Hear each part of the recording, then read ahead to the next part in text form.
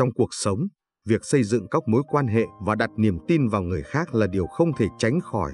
Tuy nhiên, không phải ai cũng xứng đáng với sự tin tưởng và lòng thương của chúng ta. Sự khôn ngoan trong việc nhận diện và tránh xa những người không đáng tin cậy sẽ giúp chúng ta bảo vệ bản thân khỏi những tổn thương không đáng có và duy trì sự bình an trong tâm hồn. Bài viết này sẽ giúp bạn khám phá những kiểu người mà người khôn tuyệt đối không tin tưởng và không nên thương hại, bất kể bạn đang ở tình huống nghèo khó hay giàu có. Trước hết, người khôn tuyệt đối không tin tưởng những người giả dối và hay thay đổi. Những người này không có sự ổn định trong lời nói và hành động của mình, luôn thay đổi lập trường và thái độ theo hoàn cảnh. Họ có thể tỏ ra thân thiện và đáng tin cậy trong một lúc, nhưng ngay sau đó lại phản bội lòng tin của bạn. Việc đặt niềm tin vào những người này sẽ khiến bạn rơi vào tình thế bấp bênh và dễ bị tổn thương.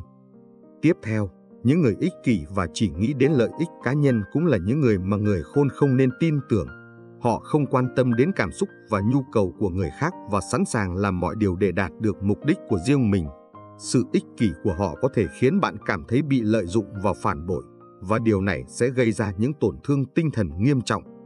Ngoài ra, những người hay ganh tị và đố kỵ cũng không nên được tin tưởng. Họ không bao giờ hài lòng với thành công của người khác và luôn tìm cách kéo người khác xuống để thỏa mãn sự ganh ghét của mình. Tin tưởng vào những người này có thể khiến bạn trở thành mục tiêu của sự đố kỵ và bị họ sử dụng những chiêu trò bẩn thỉu để làm giảm giá trị của bạn. Bên cạnh đó, những người không giữ lời hứa và thường xuyên thất hứa cũng không đáng để bạn tin tưởng. Họ có thể hứa hẹn giúp đỡ và hỗ trợ bạn trong những lúc khó khăn, nhưng cuối cùng lại bỏ rơi bạn vào những thời điểm cần thiết nhất. Sự không đáng tin cậy của họ sẽ khiến bạn mất lòng tin và cảm thấy bị phản bội. Cuối cùng, người khôn không nên thương hại những người luôn lợi dụng lòng tốt của người khác. Những người này thường tỏ ra yếu đuối và cần sự giúp đỡ, nhưng thực chất họ chỉ muốn lợi dụng lòng tốt và sự thương hại của bạn để đạt được lợi ích cá nhân. Việc giúp đỡ và thương hại những người này không chỉ không mang lại kết quả tích cực mà còn có thể khiến bạn bị lợi dụng và tổn thương. Việc nhận diện và tránh xa những kiểu người không đáng tin cậy và không nên thương hại là điều vô cùng quan trọng để bảo vệ bản thân và duy trì sự bình an trong tâm hồn.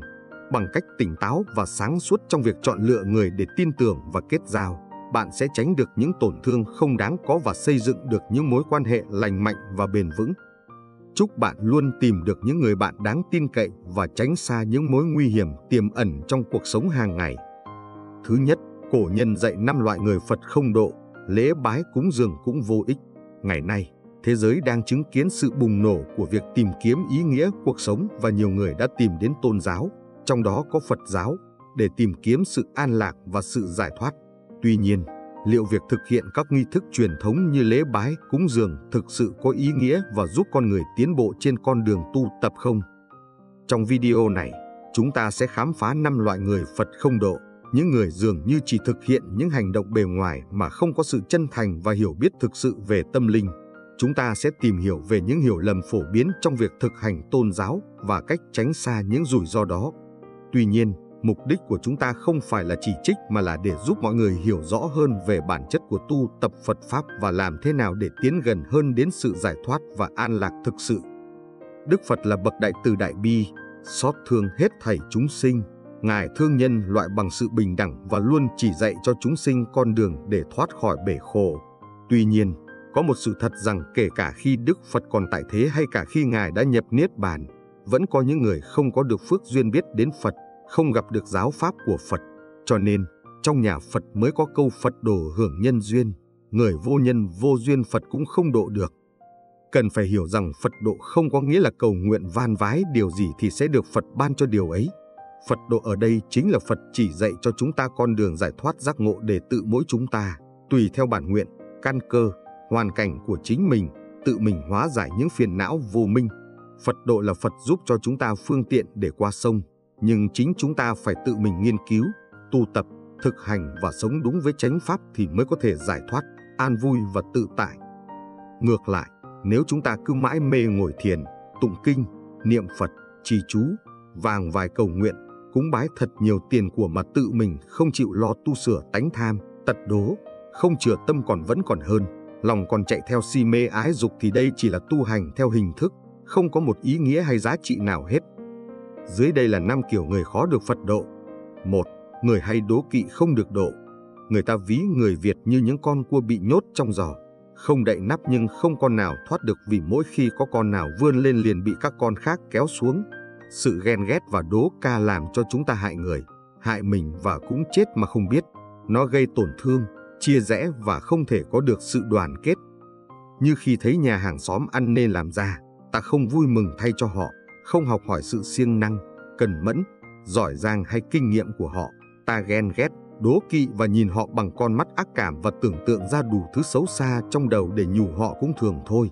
Sao mà giỏi hơn ta được, chẳng qua là vì xấu xa, bất chính nên mới giàu. Và rồi họ bịa đặt, nói xấu, vu khống, thậm chí quanh rác, sang cổng nhà hoặc cho chó ỉa một bãi trước cổ nhà nó, chờ đợi. Ghét, tâm tật đố, sân hận cũng là một trong những tâm cần phải cắt bỏ của người tu Phật. Điều này cũng giống như người em họ của Đức Phật là Đề Bà Đạt Đa, vì ganh tị với tài đức của Đức Phật đã dẫn dắt tăng đoàn phỉ báng và phá hoại nhiều lần khi Đức Phật thuyết pháp, cuối cùng dẫn đến đọa vào đường ác. Vì vậy, hạng người này dù có nhân duyên với học Phật nhưng trên con đường học Phật thường đố kỵ với những người học và hành giỏi. Bản thân mình kết quả là họ nảy sinh lòng ganh ghét đối với người khác và thậm chí có nhiều hành vi phi lý. Vậy làm sao có thể kết Phật duyên và được Phật độ?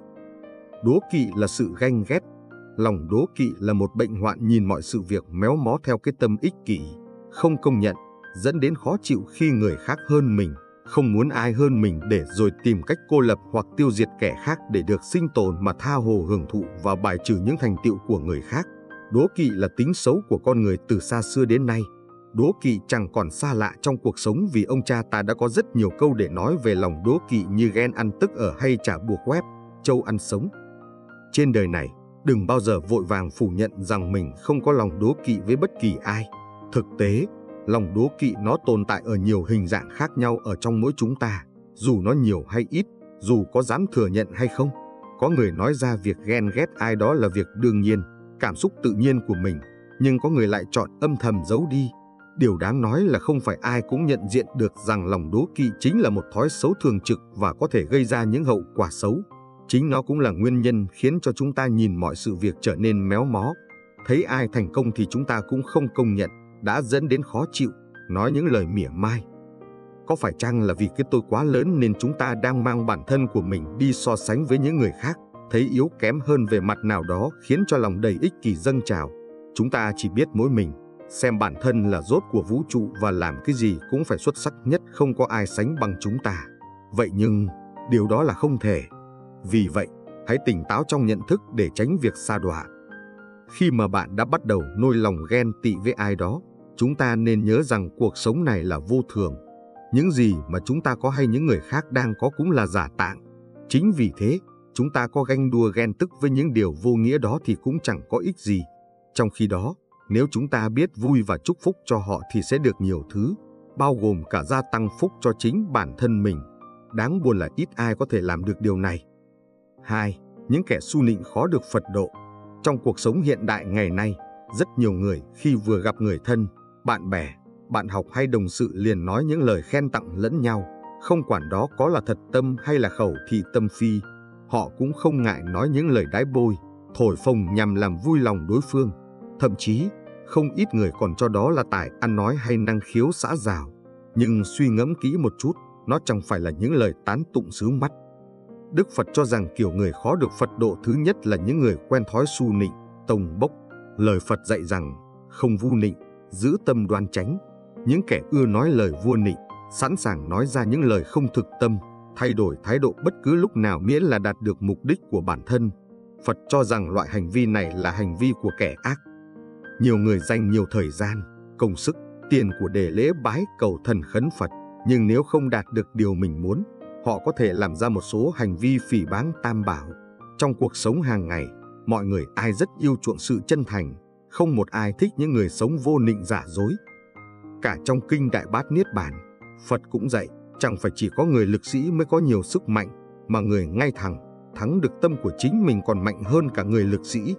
Phật đã trải qua vô số kiếp, chẳng nghe theo tâm mà nỗ lực tinh tấn, đạt đến quả vị Phật. Thế nên, chúng ta sống chính trực, ngay thẳng và chân thành là những điều mà chư Phật, chư Tổ và những bậc thầy mong mỏi ở chúng ta.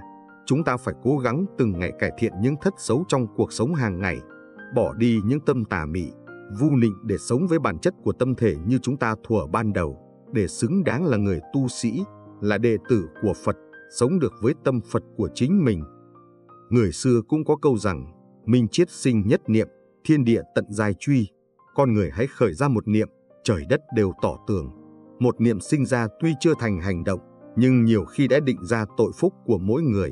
Những người biết kính sợ trời đất, thần Phật, hiểu luật nhân quả sẽ áp chế tà niệm, kiên định chánh niệm, giữ bản thân trong sạch cả thân lẫn tâm, nhuần tích đức hành thiện. Do đó, hành vi a dua nịnh nọt cần phải được xóa bỏ. Chúng sinh sống xô nịnh tức là có đạo đức giả, không từ thủ đoạn miễn là đạt được mục đích mưu cầu lợi ích cá nhân. Những kẻ như vậy chẳng những đánh mất phước báo mà còn khó được Phật phổ độ cứu giúp. Thứ ba, những kẻ gian ác bất nghĩa không thể độ.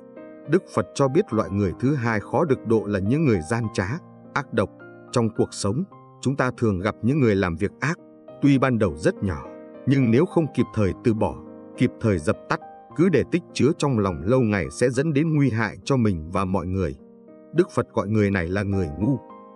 Thế nên, trong kệ ngôn 121, phẩm ác thuộc kinh Pháp Cú, Đức Phật dạy, chớ chê khinh điều ác, cho rằng chưa đến mình, nhưng nước nhỏ từng giọt, rồi bình cũng đầy tràn. Người ngu chứa đầy ác, do chất chứa dần dần. Ở đây, Đức Phật dạy người ngu là người làm việc ác, ít chứa việc ác. Ác nghiệp này dẫn ta vào chỗ tối tâm, mù mịt, khổ đau. Việc ác là những điều mình làm sai với luân thường đạo đức, sai với chánh pháp, làm cho người phải chịu khổ đau qua lời nói, suy nghĩ và việc làm. Đối với những điều ác, chúng ta chớ có khinh thường, cho dù việc đó rất là nhỏ, nhưng tích chứa dần dần sẽ trở thành việc cực ác.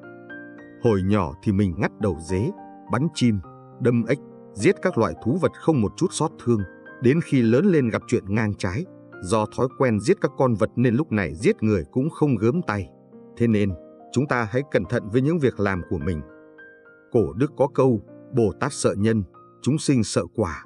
Bồ Tát đã nhận thức rõ ràng nhân nào quả đó nên các ngài sợ nhân ác, nhân xấu, không dám làm. Còn chúng sinh mê muội, nhận thức sai lầm nên thấy việc ác không biết sợ hãi quả báo, cứ lao đầu vào làm. Theo Đức Phật, đẹp xấu, giàu nghèo, sang hèn của kiếp này không tự nhiên mà bị mà được. Người nào nhiều đời trước hay chọn lòng bố thí thì đời này phải an cư lạc nghiệp. Kẻ nào nhiều đời trước hay tham lam bùn xỉn thì đời này nghèo khó bần cùng. Người nào nhiều đời trước nhu hòa, nhẫn nhục thì đời này đoan chính, thanh cao. Kẻ nào nhiều đời trước hay nô tam, bành lục tặc thì đời này tướng mạo xấu xí. Người nào nhiều đời trước trí tâm đánh lễ chư Phật thì đời nay cao quý và được nhiều người quý trọng. Kẻ nào nhiều đời trước hay ngã mạn, cống cao thì đời nay phải sinh làm hạ tiện. Đối với việc ác dù là rất nhỏ cũng phải kịp thời từ bỏ nếu tích chứa lâu ngày sẽ dẫn đến sự nguy hại cho mình và người khác. Còn người đời do ngu si mà khởi tâm tham lam, do khởi tâm tham mà tạo ác nghiệp, tàn hại lẫn nhau còn giết cha, chừa hại thầy, chồng ức hiếp vợ, vợ lấm nước chồng, tạo thành mối tình bất chính. Không gì xa lạ, đều là những người thân của mình. Hiện tại, mọi người xa lánh, phải vào tù, ra tòa, bị mọi người nguyền rủa, tiếng xấu để đời cho dù có trốn được pháp luật nhưng không thể thoát khỏi luật nhân quả. Cổ nhân có câu, lưới trời lồng lộng, thưa nhưng không lọt, nghĩa là thiện ác đều có báo ứng, chỉ là sớm hay muộn mà thôi. Thứ tư, kẻ nói lời ác không thể được Phật độ. Đức Phật nói loại người thứ ba khó được độ là những người nói lời ác độc. Bất cứ ai nghiên cứu về Phật giáo đều biết lợi ích của việc gieo thiện khẩu lớn lao như thế nào. Nếu không giữ gìn tốt cái miệng của mình, nói ra những lời hay ý đẹp, tốt đời đẹp đạo, thay vào đó là những lời đổi trắng thay đen, nói xấu người khác, gieo ác nghiệp thì điều chỉnh mất phước mà còn tạo vô số nhân ác. Đức Phật dạy ác khẩu hay còn gọi là ác ngữ là một trong bốn điều bất thiện thuộc về lời nói, vọng ngữ, ý ngữ, lưỡng thiệt, ác khẩu. Nó sẽ gây ra nhiều hối hận cho con người trong cuộc sống sau khi nói ra. Tác dụng của lời nói có thể xoa dịu nỗi đau trong lòng, làm vơi đi những tâm trạng buồn. Lời nói nhã nhặn, Lời khuyên đúng thời đúng lúc sẽ có thể thay đổi những suy nghĩ tiêu cực của đối phương và từ đó dần dần sẽ làm thay đổi những hành vi, những việc làm bất thiện. Ngược lại, lời nói cũng có thể đưa con người vào vực thẳm của tội lỗi, có thể khiến người ta ăn năn hối hận cả cuộc đời. Trong đó, lời nói ác ngữ, ác khẩu là một trong những nguyên nhân đưa đến hậu quả như thế. Ác khẩu, Ác ngữ là lời nói thô tục, thâm độc, thô bạo, mắng nhiếc, chửi rủa là những lời lẽ thiếu văn minh đạo đức trong giao tiếp. Đương nhiên, nói nặng lời hoặc lớn tiếng trong trường hợp nào đó không phải là ác ngữ, nhất là trong quá trình giáo dục con cái của cha mẹ, giáo huấn học trò của thầy cô. Trong kinh Phật có bài học đạo lý rằng, có người nghe Đức Phật rất từ bi, rất có đạo hạnh nên cố ý đến mắng nhiếc Đức Phật, nhưng khi chửi mắng, Đức Phật đều lặng lặng, chẳng đáp. Khi người ấy mắng nhiếc xong, Phật hỏi, ông đem lễ vật tặng người khác, người ấy không nhận thì lễ vật ấy cuối cùng sẽ thuộc về ai? Người ấy đáp rằng, lễ vật vẫn là của ông ta. Đức Phật liền nói, nay ông mắng nhiếc ta nhưng ta không nhận, ông tự mang vào thân ông. Vậy cũng giống như tiếng là do nương theo tiếng mà có, như bóng do hình mà thành. Cuối cùng vẫn chẳng tránh được. Hãy thận trọng chưa nói lời mắng nhiếc, ác ngữ. Theo đạo lý nhân quả trong Phật giáo, một việc làm, một lời nói, một ý niệm suy nghĩ của thân, miệng, ý, dù đó là thiện hay bất thiện, đều đưa đến kết quả nhất định của nó. Có những hành vi, lời nói, suy nghĩ được lặp đi lặp lại nhiều lần thì kết quả hiện hành rõ ràng hơn, chi phối mạnh mẽ hơn trong đời sống thường ngày của cá nhân đó. Cho nên có câu sách tấn rằng, phàm làm việc gì suy nghĩ đến hậu quả của nó, hay Bồ Tát sợ nhân, chúng sinh sợ quả, tức là người trí, người giác ngộ thì làm việc gì, nói lời gì, nghĩ điều gì, luôn luôn cẩn trọng, cân nhắc đến hậu quả của nó. Còn người mê thì cứ làm, cứ nói, cứ hành xử theo cảm tính, theo suy nghĩ cá nhân của mình cho thỏa đạt ham muốn. Khi hậu quả đến thì lo âu, sợ hãi. Bởi vậy, Đức Phật đã dạy ở đời luôn có luật nhân quả. Đừng bao giờ nói xấu hay làm chuyện hại người. Bạn hãm hại người khác thì sẽ có người khác hãm hại lại bạn. Bạn lừa dối người khác cũng có người khác lừa dối bạn. Vết thương bạn gây ra trên thân thể người khác còn có ngày lành. Còn vết thương gây ra do lời nói thì chẳng biết khi nào mới lành lặn được.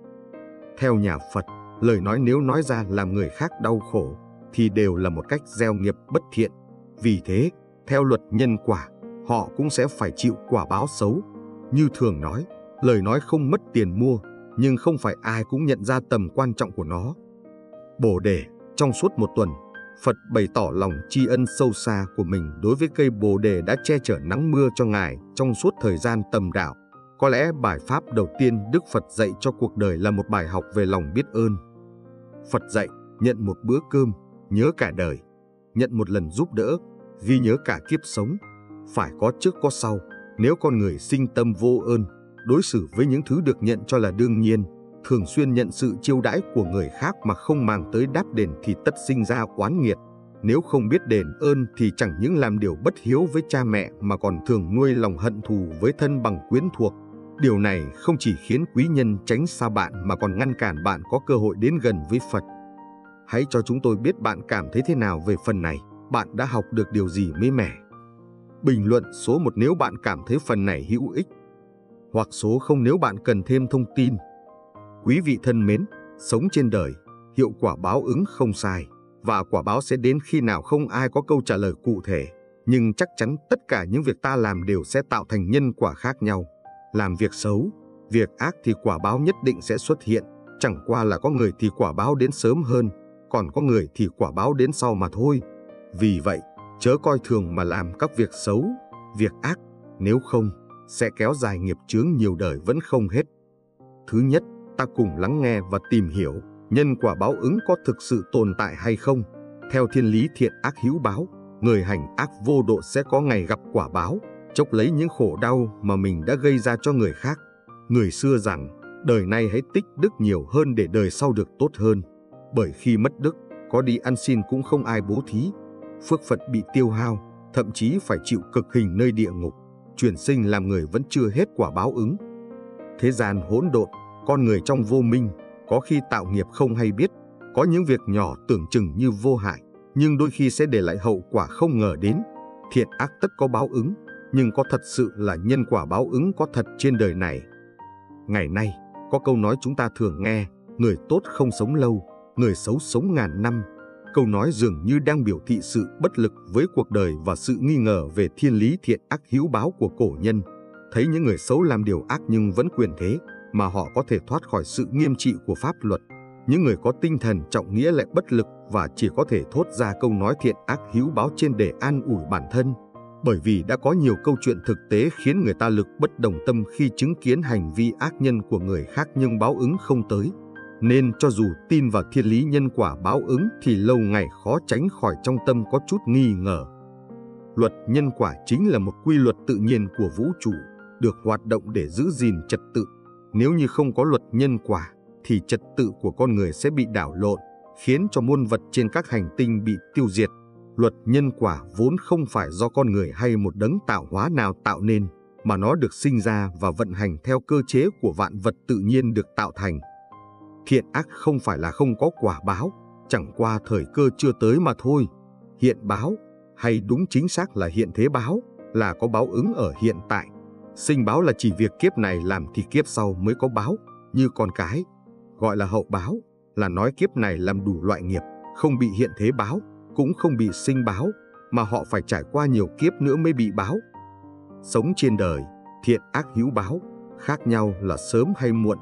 Quả báo tới sớm thì có khi chưa đầy một năm đã nếm trải, nhưng quả báo tới muộn thì có khi tới tuổi xế chiều mới phải nhận lấy. Vậy tại sao nghiệp chướng của những kẻ xấu, kẻ ác không linh ứng ngay? Có phải là để chỉ hoãn nó cho đến sau này? Có thể là do họ làm ác chưa đủ, có thể là do ông trời muốn họ phải chịu quả báo lớn hơn nữa. Nhưng một điều chắc chắn là quả báo đến muộn không chỉ ảnh hưởng tới đời mình, mà còn ứng nghiệm lên cả đời con cháu về sau. Con người nói rằng quả báo của một người thường sẽ dần dần xuất hiện trong 10 năm cuộc đời, ở độ tuổi từ 50 đến 60. Ở tuổi 50, trạng thái của con người sẽ rất khác nhau. Một số người sẽ cảm thấy bồn chồn, một số người sẽ cảm thấy cảm xúc lặng lẽ, số khác lại cảm thấy nhẹ nhõm và sảng khoái. Những người bồn chồn hoặc là đã từng làm điều xấu và cảm thấy sợ hãi khi về già.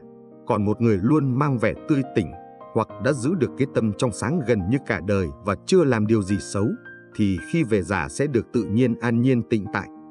Điều mong muốn trong cuộc đời này không phải là tiền tài, danh vọng, mà là sự bình yên trong tâm hồn tới lúc nhắm mắt xuôi tay. Những thứ như tiền tài, danh vọng đó vốn không thể mang đi theo. Có những người mong muốn làm giàu đến mức mù quáng, sẵn sàng làm liều 9 phút. Mỗi năm cứ dịp đầu năm mới, đều lên chùa thắp nén nhang cầu khấn, mong thần Phật phù hộ cho mình.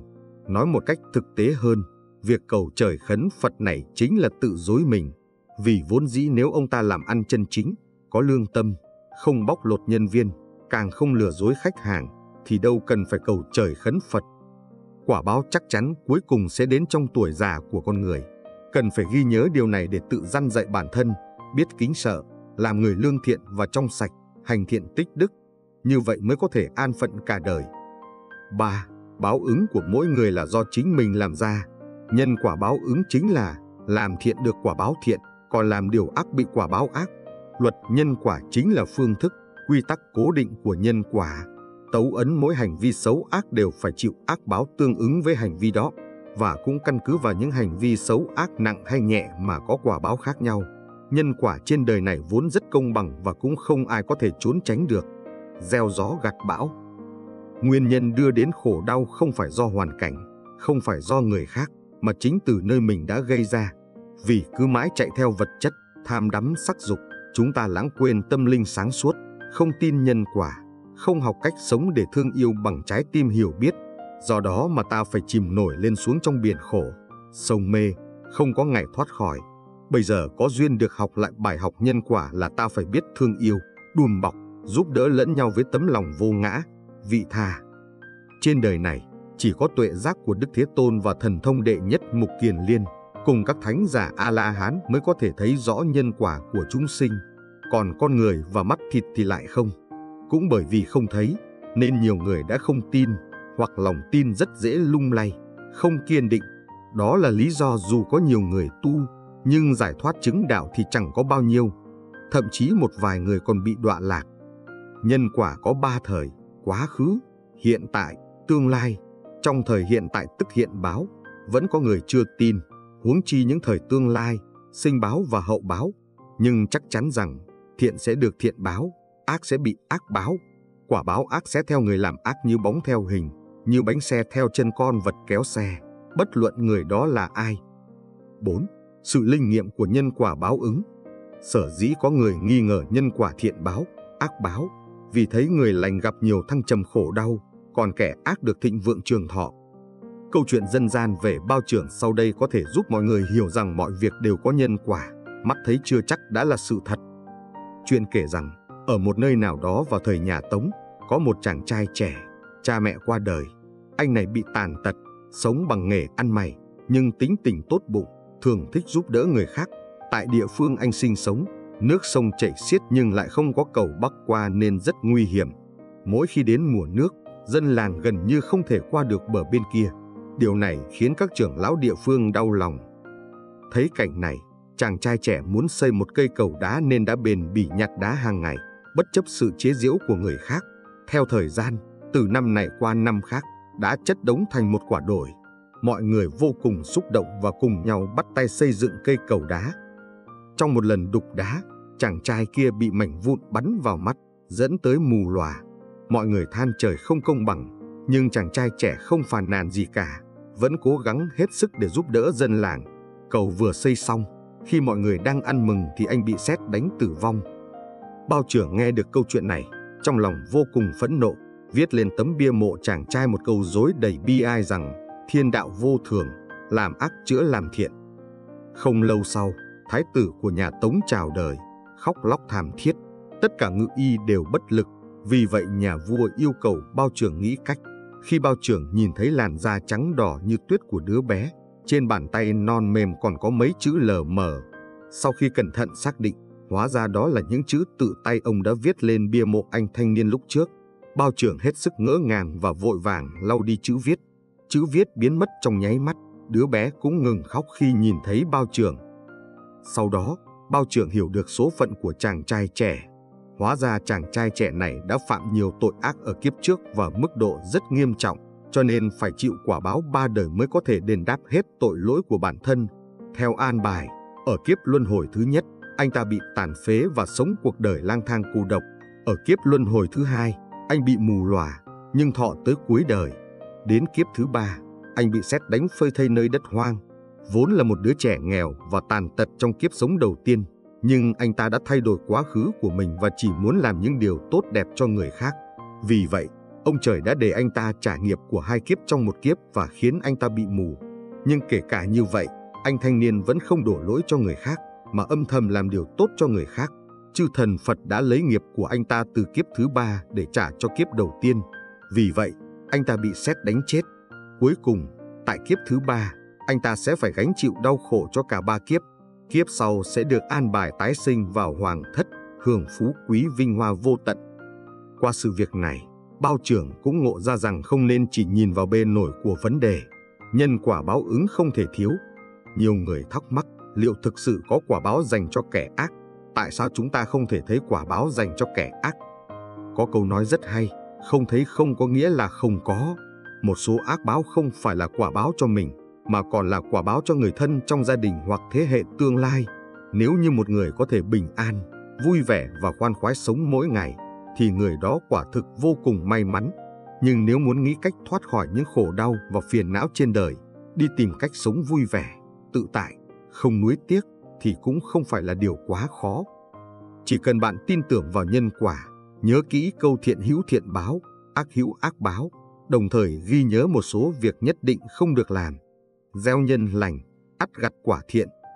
Nhân quả trong đạo Phật dạy cho ta phải có trách nhiệm trong từng ý nghĩ, lời nói và hành động. Nếu chúng ta không tin nhân quả, ta sẽ sống vô ý thức, thiếu trách nhiệm, chỉ biết tham lam, ích kỷ để làm tổn thương người khác nhưng con người lại chỉ tới khi gặp quả báo xấu mới than trời trách đất, đổ thừa tại không chịu gieo nhân lành ngay nơi hiện tại. Nhiều người đã phạm tội nhưng chưa bị phát hiện bởi nhân xấu chưa kết thành quả. Họ vẫn cứ ung dung hưởng thụ, thản nhiên như người vô tội, thậm chí còn phỉ báng luật nhân quả. Đến khi phước hết họa đến, chịu quả khổ đau không có ngày thôi dứt. Quả nghiệp báo tốt xấu sẽ đến sớm hay muộn là tùy theo duyên. Bây giờ ta chưa đau bệnh, nhưng sau này sẽ bệnh rồi ta cảm nhận sự thống khổ của nó mà có thể cảm thông người đã bệnh. Khi hiểu được như vậy, chúng ta sẽ thương mình và người khác, nhờ đó nghiệp khổ càng ngày càng được giảm bớt và tiêu trừ. Nếu chúng ta không hiểu, thì cho dù có tốn hết bao nhiêu tiền của và thời gian đi chùa để cầu khẩn, van xin mong Phật Bồ Tát gia hộ cho mau hết bệnh cũng chỉ là việc làm vô ích, bởi đó là người chưa có niềm tin sâu sắc về nhân quả. chẳng thần Phật, Bồ Tát nào chứng cho lòng thành nửa vời đó. Quý vị thân mến, chỉ có tấm lòng nhân hậu, nhưng ái thì bạn có thể nhìn thế giới và con người bằng con mắt hiền lương của Đức Phật. Bạn sẽ luôn thấy được sự chân thành, tốt bụng và mặt đẹp của mọi thứ, bất kể khi nào và ở đâu trên thế gian này. Hãy cho chúng tôi biết bạn cảm thấy thế nào về phần này. Bạn đã học được điều gì mới mẻ? Bình luận số 1 nếu bạn cảm thấy phần này hữu ích, hoặc số 0 nếu bạn cần thêm thông tin, âm nhạc, tin. Quý vị thân mến, trong cuộc sống, chúng ta luôn mong muốn có một gia đình hạnh phúc, nơi mà tình yêu và sự đoàn kết trở thành nền tảng cho mỗi thành viên phát triển. Tuy nhiên, đôi khi trong quá trình xây dựng và nuôi dưỡng gia đình, chúng ta có thể mắc phải những sai lầm không tốt. Đó là lúc câu nói trong liễu phàm tứ huấn trở nên càng thêm ý nghĩa, người lương thiện, phúc tuy chưa đến nhưng họa đã tránh xa, kẻ ác độc, họa tuy chưa đến nhưng phúc đã rời xa. Nhưng một gia đình mà có ba biểu hiện sau đây thì hãy cảnh tỉnh và sửa ngay, nếu không sẽ khiến gia đình bại vong ly tán. Một, thói quen xấu của con người. Dù xuất sắc và ưu tú đến đâu thì cũng có những tật xấu hoặc những điểm chưa hoàn thiện. Nhưng có một số người có nhiều tật xấu, không chỉ có hại cho bản thân mà còn mang lại sự nguy hiểm cho cả gia đình. Ví như nghiện cờ bạc, cuối cùng là tiền mất tật mang. Thói quen xấu này không chỉ hủy hoại bản thân mà còn liên lụy đến cả gia đình. Ăn chơi xa đọa cũng là một thói quen xấu, gây đến họa hoạn cho gia đình. Cần kiệm là một phẩm chất cần có để quản lý một gia đình. Cần kiệm hiểu được tiết kiệm, chi tiêu như thế nào sẽ tạo dựng một gia phong tốt cho gia đình. Từ những tấm gương của các bậc hiền tài trong lịch sử, mới thấy thành công là do cần kiệm, thất bại là do xa hoa. Chỉ có hiểu được cuộc sống giản dị, khiêm tốn thì mới có thể lâu bền, tâm an tĩnh mới có thể tu thân, sống cần kiệm mới cơ thể tích đức. Người có phẩm chất cần kiệm, xuất phát mới có thể khiến con cháu đời sau lấy mình làm tấm gương, để con cháu từ bỏ thói quen xa xỉ, khoe giàu, sang dưỡng thành thói quen cơm bưng nước rót, để chúng hiểu được rằng mỗi bát cơm bát cháo, con người cần phải đủ, biết bao mồ hôi công sức làm ra, sợi tơ sợi chỉ cũng rất vất vả, gian nan. Cuộc sống vốn đã không hề dễ dàng, chứ phứng thúy thành quả lao động của người khác, tự mình lao động mới có cơm no áo ấm. Trong cuộc sống, mỗi người cần biết cách ước thức bản thân, có kỷ luật sống cho riêng mình, dần vứt bỏ những thói quen xấu. Như vậy mới có thể sống một cuộc sống hạnh phúc. 2. Sự lười biếng, không có phấn đấu thì sẽ không có thành tựu. Sống một cuộc sống lười biếng thì sẽ không đạt được những điều bản thân mong muốn. Chỉ có trải nghiệm rồi thì mới biết thành tựu một việc cũng không dễ dàng gì. Quyết tâm và động lực để thành công một việc gì cũng phải dựa vào sự hăng hái và kiên trì. Chỉ có kiên trì nỗ lực, không mệt mỏi thì mới có thể đạt được thành công. Trong chu dịch có viết, trăng trời vận hành mạnh mẽ, người quân tử tự cường không ngừng nghỉ. Con người chỉ cần sống là phải học cách tự luyện bản thân từ trong khó khăn, gian khổ, chứ không nên chìm đắm trong an lạc. Đừng cứ dựa dẫm cha mẹ, cha mẹ chỉ nuôi chúng ta nhất thời, chứ không nuôi chúng ta cả đời được. Cha mẹ cuối cùng cũng sẽ già đi, khi đó cha mẹ cần dựa vào chúng ta. Đàn ông là trụ cột của gia đình, phụ nữ lấy một người chồng lười biếng, không có chí tiến thủ và động lực cố gắng, thì gia đình đó quả là ít có tương lai, một cuộc sống tốt đẹp, cần có bàn tay tạo dựng, không phấn đấu chăm chỉ thì sẽ trở nên lười biếng. Người ta nói rằng, thời gian là tiền bạc và sinh mệnh, nhất là đối với những người đã có gia đình. Nếu không chăm chỉ để gánh vác trọng trách trong gia đình, thì sống ngộn gì. Gia đình cũng ly tán, không được bền lâu. Cuộc đời có truy cầu điều tốt đẹp, có cố gắng thì mới không lãng phí tuổi thanh xuân, bởi vì tuổi thanh xuân nỗ lực là tươi đẹp nhất. Thứ ba, thường xuyên xảy ra mâu thuẫn. Nóng giận là bản năng, có thể kiềm chế cơn nóng giận chính là bản lĩnh. Ngay cả những cặp đôi hòa thuận nhất cũng có thể xảy ra mâu thuẫn. Nhưng giao tiếp chính là cầu nối để xây dựng mối quan hệ ngay cả những cặp vợ chồng ít nói nhất thì cũng nên học cách chủ động giao tiếp với nhau. Như vậy tình cảm mới ngày một hòa thuận. Tuy nhiên, một số người lại không biết cách giải quyết mâu thuẫn, thay vào đó lại có lòng tự ái, giận dữ mà bỏ qua cảm xúc của đối phương. Theo thời gian, đối phương sẽ không cảm nhận được tình yêu thương và sự quan tâm của bạn và sớm muộn họ sẽ chọn cách ra đi. Tính kỳ cựu, kỳ cương của bạn một khi đối phương cực kỳ thất vọng về bạn thì đó cũng chính là lúc vợ chồng sắp phải lìa xa. Người xưa có câu, lùi một bước biển rộng trời cao, nhẫn một chút gió yên biển lặng. Vợ chồng với nhau thì không nên có mối oán hận gì rằng, nhiều ngày đôi khi không biết cách giao tiếp quả thật sẽ khiến mâu thuẫn tích tụ theo thời gian. Vì vậy, bạn phải biết tiết chế cảm xúc của mình và học cách suy nghĩ vấn đề từ góc độ của đối phương. Thiện giải hai bên trong một gia đình, sợ nhất là ba hiện tượng này. Không chỉ ảnh hưởng đến tình cảm vợ chồng mà còn khiến hôn nhân dạn nứt, con cái ly tan. Một mối quan hệ tốt đẹp cần sự xây dựng, bồi đắp từ hai phía, chứ không phải là sự hát sinh của một người. Do vậy, hãy học cách trân quý những người xung quanh, thay đổi và hoàn thiện bản thân để có được một cuộc sống như ý. Quý vị thân mến, đời người có ba điểm tựa vững chắc có được những điều đó chính là phúc. Những tưởng tượng đó chính là anh em hòa thuận, những người bản thân thành và sự nỗ lực của bản thân. Đời người có bốn điểm tựa vững chắc có được điều đó chính là phúc khí. Thứ nhất, anh em hòa thuận. Tăng Quốc Phiên nói, gia đình hòa thuận thì sinh phúc, anh em hòa thuận thì nhà thịnh. Anh em không hòa thuận thì dù nghèo cũng thịnh. Ông hy vọng rằng tất cả anh em đều có thể đỗ đạt khoa cử, trở thành quan, có thể dựa vào nhau trên quan trường, không ngờ để giúp đỡ huynh trưởng. Các đại đệ của ông đã tự nguyện từ bỏ qua cử và gia nhập vào quân danh. Khi Tăng Quốc Thiên gờ nhập quân đội Hồ Nam và trở thành cánh tay phải của Tam Quốc Phiên, làm huynh đệ, hai người xa trường chết trận, hai người phong hầu bái tướng, còn một người ẩn cư điền viên.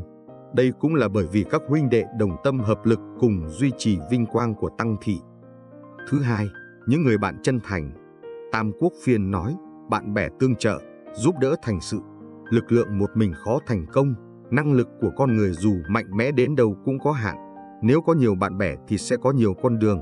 Bất kể bạn mới hay người quen cũ, chúng ta đều cần đối đãi bằng trái tim của mình. Tăng Quốc Phiên cũng nói, kết bạn phải thường xuyên qua lại, không được quá xa lạ. Tiền bạc thì lượng sức tài trợ, khi làm việc thì phải cố gắng chăm chỉ. Biểu hiện giữa bạn bè bất quá là biểu đạt thành ý lẫn nhau. Mình trước tiên phải đối đáy bạn bè bằng thành thật, đối phương mới có thể dùng thành ý đáp lại. Tục ngữ có câu, ở nhà nhờ cha mẹ, ra ngoài nhờ bạn BM. Tất nhiên, không phải tất cả bạn bè đều đáng tin cậy. Có bạn có thể chia sẻ niềm vui nhưng không thể chia sẻ nỗi buồn. Có bạn chỉ chia sẻ nỗi buồn mà không thể chia sẻ niềm vui. Khi gọi là ngàn vàng dễ kiếm, Cộng hòa kỳ có tìm lòng người. Hay thay đổi, chỉ có tấm lòng chân thành mới đổi được bằng hữu đáng tin cậy. Thứ ba, sự nỗ lực của bản thân. Tăng Quốc Phiên nói, nhân tình dày mỏng một lời, nặng nhẹ cha không thể dụng mưu thay con, huynh không thể dụng ngu thay để. Nó giống như uống nước ấm áp, tự mình biết mà thôi.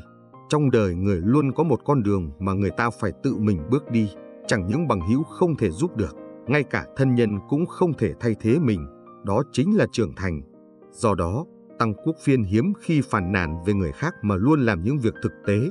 Ông biết rằng nhân sinh ở trên đời không thể tách rời giúp đỡ, nhưng điểm mấu chốt vẫn là ở chính mình. Nếu bạn có thể tự mình đứng lên, tự nhiên sẽ có người đến tương sợ. Nếu bạn không có khả năng, bất kể người khác giúp đê đỡ như thế nào cũng không giúp được gì. Tục ngữ có câu, dựa vào núi, núi đổ, dựa vào người, người chạy. Cho dù không có hậu thuẫn giúp đỡ, cũng đừng buông xuôi nỗ lực của chính mình. Thứ tư, vợ chồng chung sống hạnh phúc. Cổ nhân dạy rằng, trong một gia đình, vợ và chồng chính là trụ cột. Sự chung sống hòa thuận của vợ chồng là nền tảng cho sự thịnh vượng. Chúng ta có thể nhìn vào những người thành công, hầu hết đều có một người vợ đức hạnh làm hậu thuẫn ở phía sau. Người chồng chăm chỉ làm ăn bên ngoài, người vợ ở nhà chăm sóc con cái giàu thảo. Vợ hiền đảm đang chu đáo công việc gia đình, được xử lý nề nếp, trong không phải lo lắng gì cả, chỉ việc lo kiếm tiền về cho vợ. Sau một ngày bận rộn bên ngoài, đàn ông trở về nhà, một bức tranh đầm ấm, một gia đình hạnh phúc bên nhau, tâm trạng sẽ thoải mái biết bao, có đúng không? Ngược lại, nếu trở về nhà trong tâm trạng rối bời, muốn yên tĩnh nghỉ ngơi mà vợ chồng lạnh nhạt hay xích mí, ở trong một gia đình như vậy thân thể và tinh thần đều mệt mỏi, cũng có ảnh hưởng xấu đến phúc khí của gia đình. Quý vị thân mến, có thể mất một năm, một thập kỷ hoặc hơn để một gia đình phát triển mạnh mẽ, nhưng nó có thể sụp đổ trong một sớm một chiều. Nhưng nếu gia đình phạm phải ba điều cấm kỵ này, coi chừng gặp họa. Thứ nhất, vợ chồng bất hòa, gia đình tan nát. Người xưa nói, tu 10 năm có thể cùng thuyền vượt cạn, tu 100 năm mới có thể ngủ chung. Trên đời, mỗi cặp đôi có thể thành vợ thành chồng đều là phúc từ kiếp trước, duyên phận không dễ đến cũng không dễ ở bên nhau kiếp này. Do vậy, vợ chồng hãy trân trọng nhân duyên này. Gia đình hưng thịnh khi vợ chồng hòa thuận, Vợ chồng là nền tảng quan trọng nhất của một gia đình. Vợ chồng hoàn thuận tôn trọng nhau thì gia đình mới êm ấm. Ngược lại nếu vợ chồng suốt ngày cãi vã thì gia đình không bao giờ có được ngày yên ấm. Nhiều rắc rối trong gia đình thường ra vợ chồng bất hòa. Theo sách dịch, nam là dương, nữ là âm. Khi âm dương hòa hợp thì vạn vật hưng vượt, còn không hòa thì vạn vật suy tàn. Vợ chồng trái ngược nhau, cha mẹ ở trên và con cái ở dưới. Thời xưa một doanh nhân đưa vợ đến chùa để cầu phúc.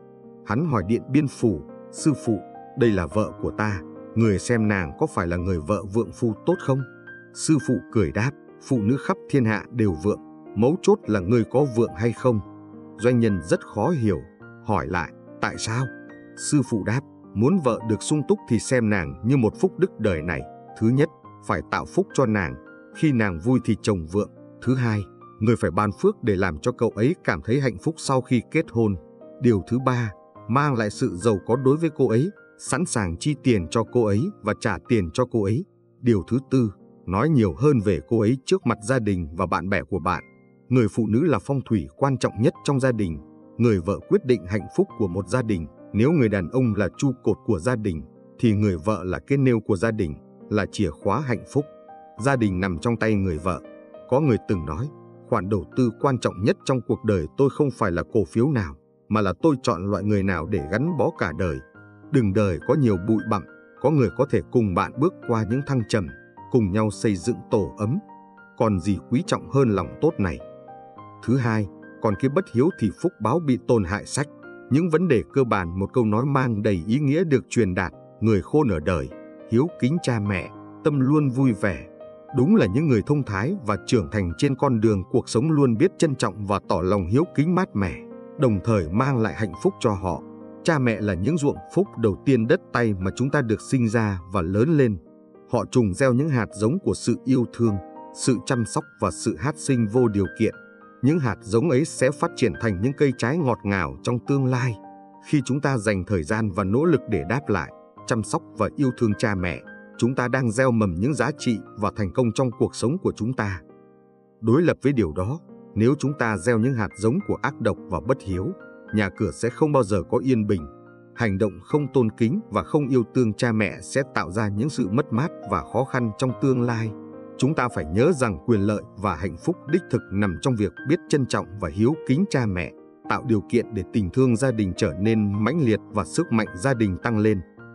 Vì vậy, để trở thành những những người khôn trên con DUNGNG cuộc sống, hãy luôn ghi nhớ rằng hiếu kính cha mẹ là một giá trị vô cùng quý báu. Bằng cách dành thời gian và tâm huyết để chăm sóc và yêu thương họ, chúng ta không chỉ gieo mầm của cải cho tương lai của mình, mà còn xây dựng một nền tảng gia đình vững mạnh, nơi tình yêu và hạnh phúc lan tỏa mãi mãi. Thứ ba, chấm vào con cháu sẽ mang tai họa, có nghĩa là con cháu có vận may riêng, người lớn tuổi không phải lo lắng quá. Có rất nhiều gia đình hiện nay, từ nhỏ đã cho con cái ăn ngon mặc ngon ngọc muôn trều, con cái không ngại để cho con mình phải chịu chút vất vả mặc cảm. Hậu quả là khi lớn lên, đứa trẻ không vâng lời cha mẹ, không tự chủ, thậm chí mắc đủ thứ thói hư tật xấu, làm mất nề nếp gia đình. Hiện tượng như vậy là phổ biến ngày nay. Khi một đứa trẻ đến thế giới này, nó không có khả năng tích lũy phước báo, nhưng nó đã tiêu thụ nó rồi.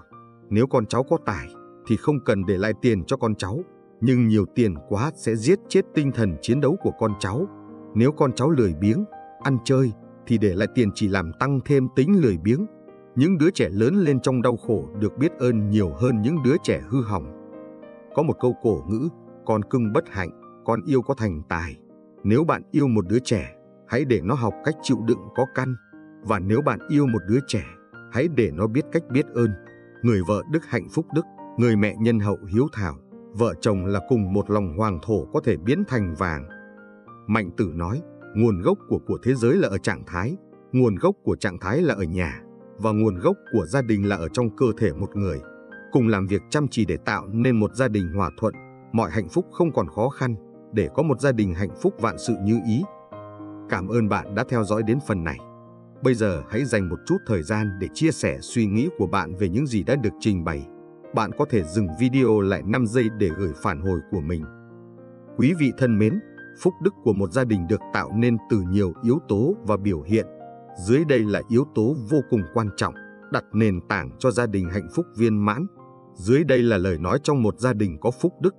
Thứ nhất, lời nói tử tế là bước đầu tiên trong việc giáo dục gia đình. Tại xã hội ngày nay, nhiều ông bố bà mẹ thường không khen ngợi con cái. Thay vào đó, họ vẫn dùng biện pháp chê bai, so sánh con mình với con người ta, với niềm chúng sẽ nhìn vào đó mà cố gắng. Trong quá trình giáo dục con cái, không thể phủ nhận rằng một số phụ huynh đã sử dụng những câu nói như con xem bạn kia rất ngoan, rất hiểu chuyện, còn được bằng một nửa người ta là bố mẹ vui lắm rồi, hoặc bố mẹ thấy con trắng được việc gì. Đến việc đơn giản vậy còn không làm được, con xem con có vô dụng không? Mà dường như trở thành câu cửa miệng thường ngày. Tuy nhiên, chúng lại là phương pháp giáo dục đả kích đáng trách. Những lời chỉ trích không kiên nhẫn và tiêu cực này có thể gây tổn thương đáng kể cho trẻ trong giai đoạn phát triển này. Trẻ em đang khao khát được người khác đánh giá cao. Nếu họ chỉ nhận được những lời đả kích, sự tự ti và tách biệt sẽ trở nên phổ biến. Đó là lý do tại sao trong giáo dục gia đình không thể thiếu những lời nói tử tế, động viên và khích lệ. Thay vì chỉ tập trung vào những khuyết điểm và thất bại, hãy tìm cách tôn trọng và đánh giá những khía cạnh tích cực của con. Hãy khích lệ và động viên họ trong quá trình học tập và phát triển bằng cách tạo ra một môi trường ủng hộ và đồng hành cùng con. Chúng ta giúp trẻ tự tin phát triển sự tự y, yêu thương và xây dựng lòng tự trọng. Gia đình nên trở thành nơi con cảm nhận được sự yêu thương và sự đồng hành. Những lời nói tử tế, động viên và khích lệ là chìa khóa để xây dựng tình thân thiết và sự phát triển của trẻ. Khi chúng ta truyền đạt niềm tin và lòng tự tin cho con, chúng ta đang gieo mầm những hạt giống của sự thành công và hạnh phúc trong tương lai của họ. Thứ hai, lời nói tử tế là thói quen nên có nhất trong hôn nhân. Truyền thống của người xưa luôn để cao việc giữ gìn một mối quan hệ hôn nhân tốt nhất, và bí quyết chính là tôn trọng và yêu thương lẫn nhau, đối đãi với nhau như đối đãi với khách quý. Đây chính là nguyên tắc từng kính như tân mà người xưa luôn ca ngợi. Tuy nhiên, có nhiều người tỏ ra nghi ngại rằng liệu việc phải suy nghĩ trước khi nói trong mối quan hệ vợ chồng có khiến mệt mỏi không. Tuy vậy, khi vợ chồng trò chuyện với nhau một cách khách khí, điều này không đồng nghĩa với việc coi nhau như người ngoài và luôn giữ thói quen ngôn ngữ lịch sử. Thực tế là biết quan tâm và yêu thương đối phương và thường xuyên trò chuyện với nhau sẽ mang lại cảm giác hạnh phúc cho cả hai. Những gia đình tê bất hạnh, ngày này qua ngày khác chỉ có những mâu thuẫn cãi vã, Nguyên nhân cũng bởi vì có biết lựa lời mà nói năng. Nhiều cặp vợ chồng ở với nhau lâu, sự nhẫn nại kém dần.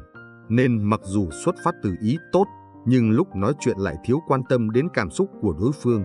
Lời nói ra đến miệng liền biến thành chỉ trích, oán giận dần dần. Cuộc sống gia đình sẽ xuất hiện dạn nứt và nguy cơ đổ vỡ. Khi không lừa lời mà nói cho nhau nghe, thì chắc chắn mọi thứ sẽ phá vỡ hạnh phúc vợ chồng trong hôn nhân.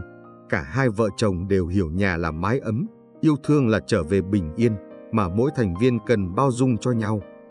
Cảm ơn quý vị đã dành thời gian để theo dõi video năm loại người Phật không độ, lễ bái cúng dường cũng vô ích. Mong rằng không có bạn, chúng ta vừa đi qua một hành trình sâu sắc vào bản chất của tu tập Phật Pháp và những hiểu lầm thường gặp trong việc thực hành tôn giáo. Qua video này, hy vọng rằng quý vị đã nhận ra rằng tu tập không chỉ là việc thực hiện các hành động ngoài trịnh, mà còn là việc nuôi dưỡng và phát triển tâm linh bên trong. Mỗi người chúng ta cần tập trung vào sự chân thành, hiểu biết và lòng từ bi trong mọi hành động của mình, thay vì chỉ đơn thuần tuân theo hình thức. Mong rằng thông qua những chia sẻ và suy ngẫm trong video này, quý vị đã có thêm những kiến thức và hiểu biết mới, từ đó áp dụng vào cuộc sống hàng ngày để tiến gần hơn đến sự giải thoát và an lạc thực sự. Thứ hai, cổ nhân dạy 6 loại người tuyệt đối không nên tin tưởng Mỗi người trong chúng ta đều muốn tìm kiếm sự tin cậy và sự ổn định trong cuộc sống. Tuy nhiên, có những loại người mà chúng Cộng hòa ta không nên tin tưởng vì họ có thể ảnh hưởng đến tư duy và cuộc sống của chúng ta một cách tiêu cực. Trong video này, chúng ta sẽ đi sâu vào 6 loại người mà bạn tuyệt đối không nên tin tưởng. Chúng ta sẽ hiểu rõ hơn về tại sao họ không phải là những người bạn tốt cho cuộc sống của chúng ta và cách chúng ta có thể nhận biết và tránh xa họ tốt bụng mấy cũng đừng tin sáu kiểu người này. Quý vị thân mến, cổ nhân đã từng dạy rằng một lần bất tín, vạn lần bất tin, tức là niềm tin là điều không thể thiếu trong việc xây dựng và chỉ một mối quan hệ bền vững. Niềm tin được coi là một trong những yếu tố quan trọng nhất và đáng quý hơn hầu hết mọi thứ khác trên thế giới này. Nó có thể mất nhiều năm để xây dựng và củng cố, nhưng chỉ cần vài giây để tan vỡ hoàn toàn. Một số người đã so sánh niềm tin với một tấm gương, một khi bị vỡ thì dù có hàn gắn lại, nó vẫn sẽ để lại những vết nước không thể xóa bỏ. Điều này tương tự khi bạn tin tưởng sai người, hậu quả của điều đó có thể vô cùng đau đớn và cũng sẽ mang lại cho bạn những tổn thất to lớn, cả về mặt vật chất lẫn tinh thần. Người khôn ngoan luôn cẩn trọng trong việc xác định và đặt niềm tin của họ. Họ biết cách đánh giá và nhận biết con người xung quanh mình để tránh việc đặt niềm tin sai chỗ. Dưới đây là 6 loại người được coi là tốt nhất để tránh đặt niềm tin vào họ, nhằm tránh phiền phức và thiệt hại cho cuộc đời của bạn. Loại người thứ nhất, người khéo á khéo nói. Cổ nhân có dạy, xạo ngôn lệnh sắc tiên hí nhân, chính là những người nói năng khéo léo hoa mỹ, lúc nào cũng cố lấy lòng người khác, thì ít khi có lòng nhân ái và thật hà Kiểu người xào nguồn thì lúc nào cũng lo châu xuất cho lời nói bóng để làm đẹp lòng người khác, lấy lòng người khác nhằm đạt được mục đích của mình. Đây là kiểu người thiếu sự thành thật, lúc nào cũng dùng lời hoa mỹ để che giấu đi con người thật của mình. Những người như vậy, cổ nhân dạy nên tránh xa, không nên kết giao. Xảo ngôn ở đây là chỉ những người nói khéo khéo đến mức người khác khó có thể thấy được lời nói của họ là xảo trá. Những người như vậy thường không có năng lực, nhưng lại cố gắng tận dụng cơ hội làm cho người khác tin tưởng bằng khả năng hoạt ngôn của mình. Một số người tận dụng khả năng nói chuyện để hài lòng cấp trên, thậm chí còn cố gắng tìm hiểu sở thích, tính cách để lựa lòng người. Trong lịch sử có không ít những tham quan đã dùng cách đó, khiến khó khiến lợi cho bản thân mình. Trong xã hội hiện đại lại càng có nhiều người như vậy. Một người sáng suốt, hiểu đạo lý thì sẽ biết cách dùng người. Họ biết tập trung vào khả năng của ứng viên và xác định được ai là người có trách nhiệm, thay vì trọng dụng những kẻ chỉ có cái vỏ bên ngoài. Nếu người nắm quyền quốc gia có thể làm được như vậy, thì mới giảm thiểu được mất mắt cho quốc gia và cả dân tộc. Người lịch sử có chuẩn mực đạo đức là người biết khiêm cung tôn trọng mọi người, lời nói ra lúc nào tốt ý, không làm hại bất kỳ ai hay tư lợi cho cá nhân mình. Loại người thứ hai, người hay khoe khoan. Con người thường có xu hướng khoe khoan về những điều mà họ tự tin, nhằm tạo ra một lớp vỏ bọc hoàn hảo để che giấu những khuyết điểm và sự thiếu sót của bản thân. Lý do được đưa ra là họ thiếu cảm giác an toàn bên trong tâm hồn và để đối mặt với điều này, họ mới không ngừng dựa vào tài sản và vật chất để xây dựng lớp vỏ bọc bảo vệ cho xê đầu và trái tim trống rỗng của mình. Điều này có thể được xem là điển yếu chết người của những người giàu có bất chính. Vậy nên, thường thì những thứ được khoe khoang ra ngoài thường không phải là sự thật. Người ta thường nói, thùng rỗng kêu to. Những người thích khoang khoang thường là những người thiếu năng lực, tự tin và yếu thế, cũng như người thường không đáng tin cậy. Vì vậy, người thông minh sáng suốt không nên tin những lời bà hoa hay khoang khoang của những kẻ như vậy. Họ cũng nên cẩn trọng khi có một người bạn nào đó có đặc điểm này. Loại người thứ ba, người hay so đo tính toán. Con người thường không cảm thấy hạnh phúc vì họ có quá nhiều toàn tính, suy nghĩ quá nhiều về mọi việc. Họ cảm thấy đau khổ vì họ luôn truy cầu điều gì đó vào bản thân họ. Loại người thứ tư, người cả nể. Người ca nể thường có tâm địa lương thiện và sẵn sàng giúp đỡ người khác. Tuy nhiên, lòng tốt và lương thiện cần phải đi kèm với lý trí để có thể địch đúng người, đúng công việc và đúng hoàn cảnh. Chỉ khi đó, lòng tốt mới trở nên có ý nghĩa và mang lại giá trị thực sự. Người cả nể lại thường thiếu sự suy xét và tự khắc trong quá trình giúp đỡ người khác. Họ có xu hướng làm theo bản năng, không bao giờ từ chối khi người khác nhờ giúp đỡ và thường dễ bị lợi dụng hơn là thực sự có ích.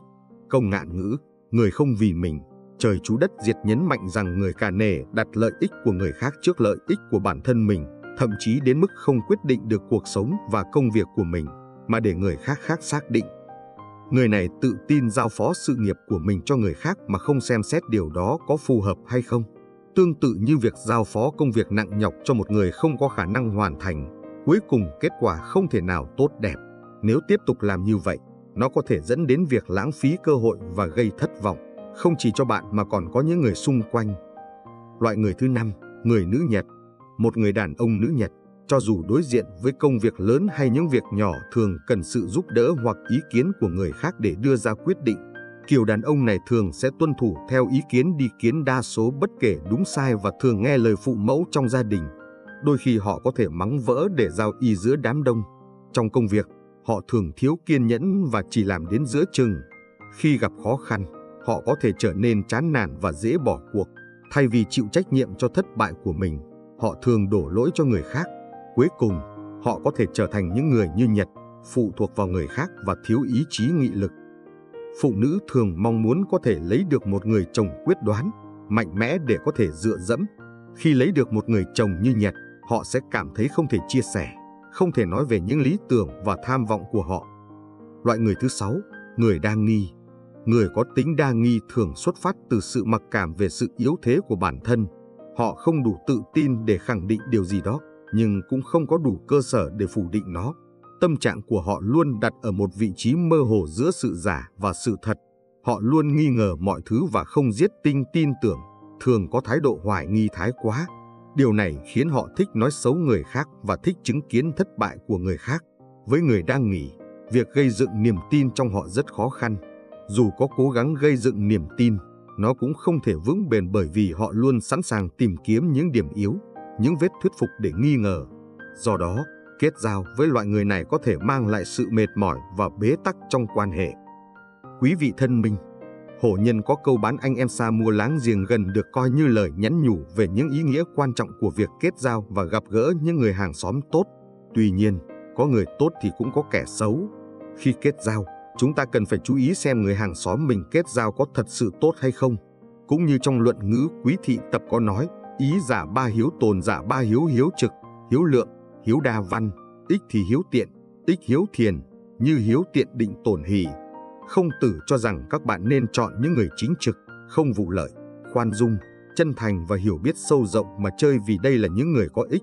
Nếu như kết giao với người A Su Nịnh, những người này sẽ tổn hại đến đức hạnh của ta. Kết giao bạn bè phải thật thận trọng.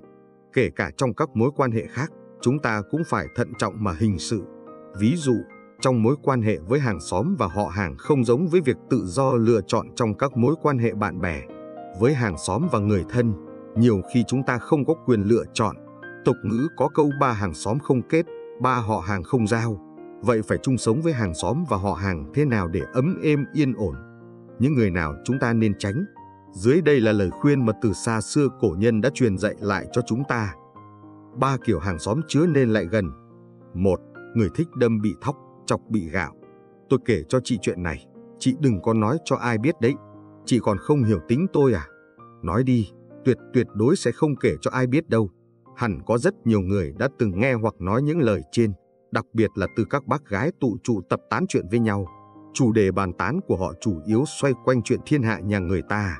Nói chuyện thường ngày không nói làm gì, nhưng có những người hàng xóm trước mặt người này là một chuyện, sau lưng họ lại là một phiên bản khác. Trước mặt người ta, toàn nói lời hay ý tốt, sau lưng người ta lại đâm bị thóc, chọc bị gạo, nói xấu người ta đủ điều. Kiểu hàng xóm này rất đáng sợ bởi nó là một dạng biểu hiện của người thiếu đạo đức. Nội dung chủ đề của họ đã vượt ra khỏi phạm vi câu chuyện gia đình thường ngày. Gặp kiểu hàng xóm thế này, chúng ta vẫn nên hạn chế tiếp xúc thì hơn. Người không muốn giúp đỡ người khác.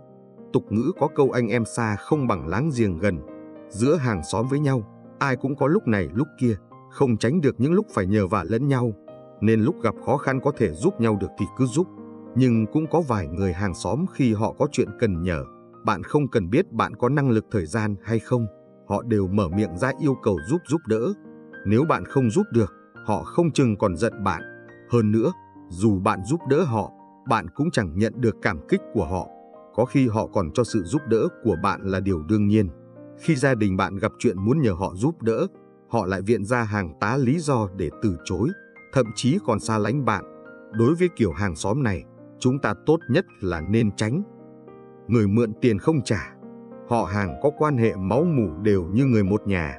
Giữa người nhà với nhau, giúp đỡ lớn nhau là chuyện bình thường, nhưng giúp đỡ cũng chỉ giới hạn trong lúc nguy cấp, chứ không bao gồm cả cứu đói.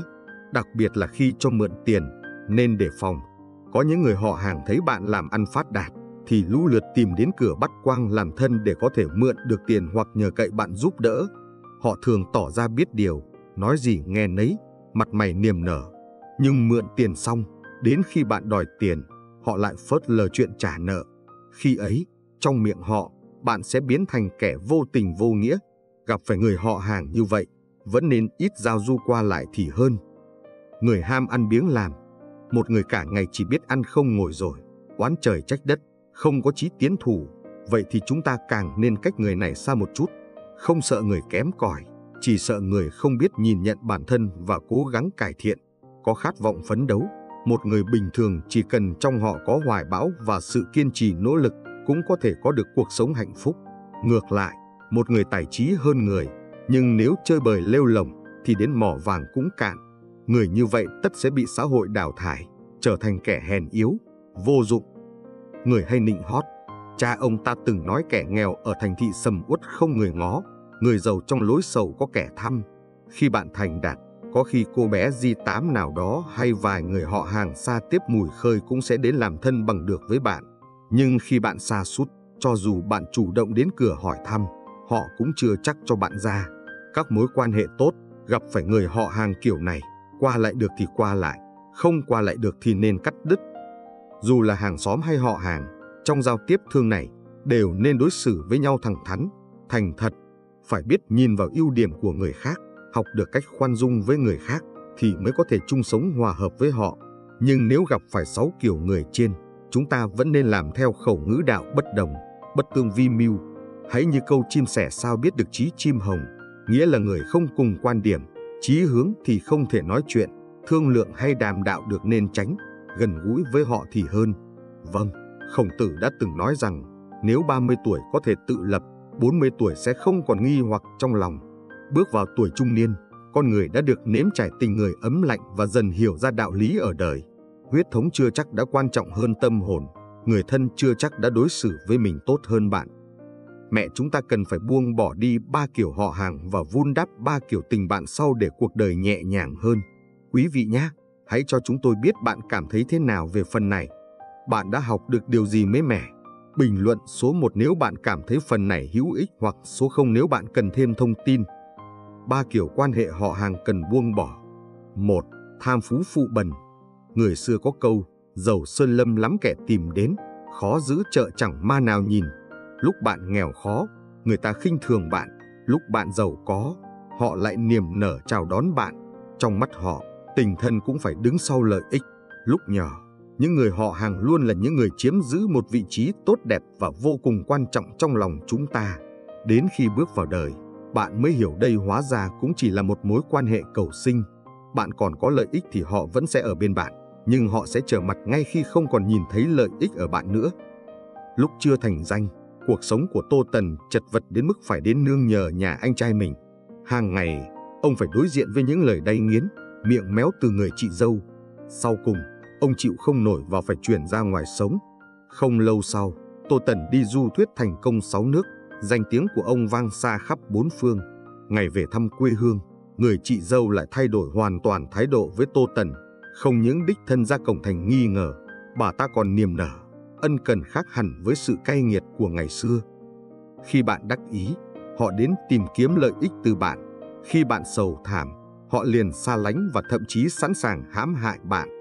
Người thân kiểu này tốt nhất không nên đi lại nhiều. 2. Vong ân phụ nghĩa. Chúng ta giúp đỡ bạn bè, họ khắc ghi trong lòng. Chúng ta giúp họ hàng, người ta luôn coi đó là điều hiển nhiên. Bạn giúp ít thì họ chê, mà giúp nhiều thì họ lại y lại. Một người bạn của tôi sống trong một gia đình khá giả. Cậu ấy có một người cậu suốt ngày chỉ thích rong chơi, không chú tâm làm ăn. Mẹ cậu ta vì thương em nên thường lén cho em mượn tiền đi làm ăn. Mấy năm sau, người đó cũng đã kiếm được ra tiền, nhưng anh ta lại cứ mãi không chịu trả lại số tiền kia. Anh ta nói rằng, nhà chị giàu như vậy mà lại còn cần đến số tiền đó sao? Cuối cùng, hai nhà vì chuyện này cãi vã đến mức mẻ tình cảm đôi bên. Vì vậy, đôi lúc chúng ta cảm giúp đỡ người ta thì chưa chắc mình đã nhận lại nhân quả tốt. Giữa người thân với nhau, chúng ta nên hạn chế chuyện cho vay mượn tiền bạc. Nếu như giúp đỡ rồi mà người ta không biết cảm ơn, thì mối quan hệ họ hàng kiểu này chúng ta cũng nên cách xa được rồi. 3. Không biết chừng mực. Mỗi năm Tết đến, bên cạnh sự háo hức được về thăm nhà, chúng ta lại phải đối diện với những câu hỏi kiểu như có người yêu chưa, hay lương tháng bao nhiêu. Nếu có người yêu rồi thì bị dục cưới, bạn cưới rồi thì bị dục sinh con, bạn đã sinh một đứa rồi thì lại bị dục sinh hai đứa. Những người họ hàng đến thăm nhà luôn thích tò mò về những vấn đề riêng tư của bạn. Cho dù quan hệ có mấy thân thiết, nhưng tính tò mò của họ về bạn thì lại không có điểm dừng. Và rồi từ đây, những lời đồn vô căn cứ được học thêm mắm thêm muối, đem truyền từ người này sang người khác. người ta vẫn hay bảo quý thì họ mới hỏi. Nhưng không biết trong lòng họ có thật lòng mong cho bạn sống tốt hay chỉ là thỏa mãn tính tọc mạch của bản thân. Ba kiểu tình bạn cần vun đắp. Một, tâm hồn đồng điệu. Giữa bạn bè với nhau, điều được coi trọng nhất vẫn là tâm hồn. Bạn quen biết nhiều người, nhưng không bằng quen được một người bạn hiểu mình. Trên đường đến thăm mộ Huệ Tử, Trang Tử có kể một câu chuyện. Ngày trước ở một vùng nọ, có người dựng bông trắng chắn lên mũi thành một cái chặp. Sau đó, anh ta gọi một người thợ rèn đến, mang dìu chặt cái bông trắng đó đi. Người thợ rèn chỉ cần một nhát dìu đã chặt phăng đi cái bông trắng đó. Người còn lại mặt không hề biến sắc, vẫn cứ điềm tĩnh và bình thản. Sau khi biết chuyện, nhà vua liền triệu kiến người thợ rèn và yêu cầu ông ta diễn lại cảnh đó. Nhưng ông ta đáp, khả năng của tôi vẫn không có vấn đề gì. Nhưng kể từ khi người bạn diễn kia qua đời, tôi đã không thể tìm được ai cùng diễn với tôi nữa.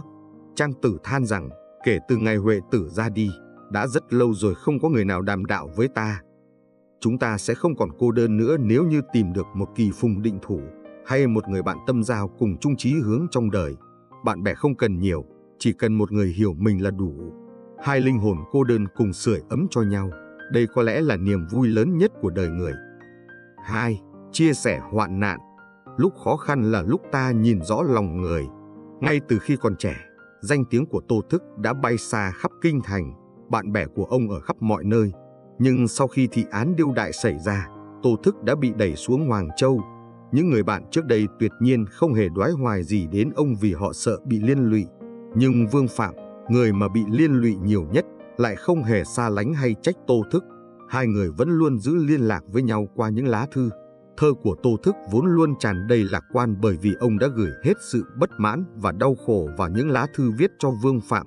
Hai người tự chữa lành vết thương cho nhau bằng những lần đàm đạo tài nghệ thuật qua thư. Trải qua hoạn nạn, tình bạn hai người vẫn trước sau như một và không hề đổi thay.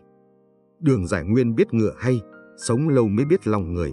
Thời gian sẽ cho ai thấy ai là người thật lòng và ai là kẻ hai mặt. Đi đến sườn dốc bên kia của cuộc đời, ai rồi cũng đã nếm trải hết mọi ấm áp và lạnh lẽo của tình người. Bạn nhất định sẽ biết trân trọng những người bạn đã đi cùng mình trải qua khó khăn. 3.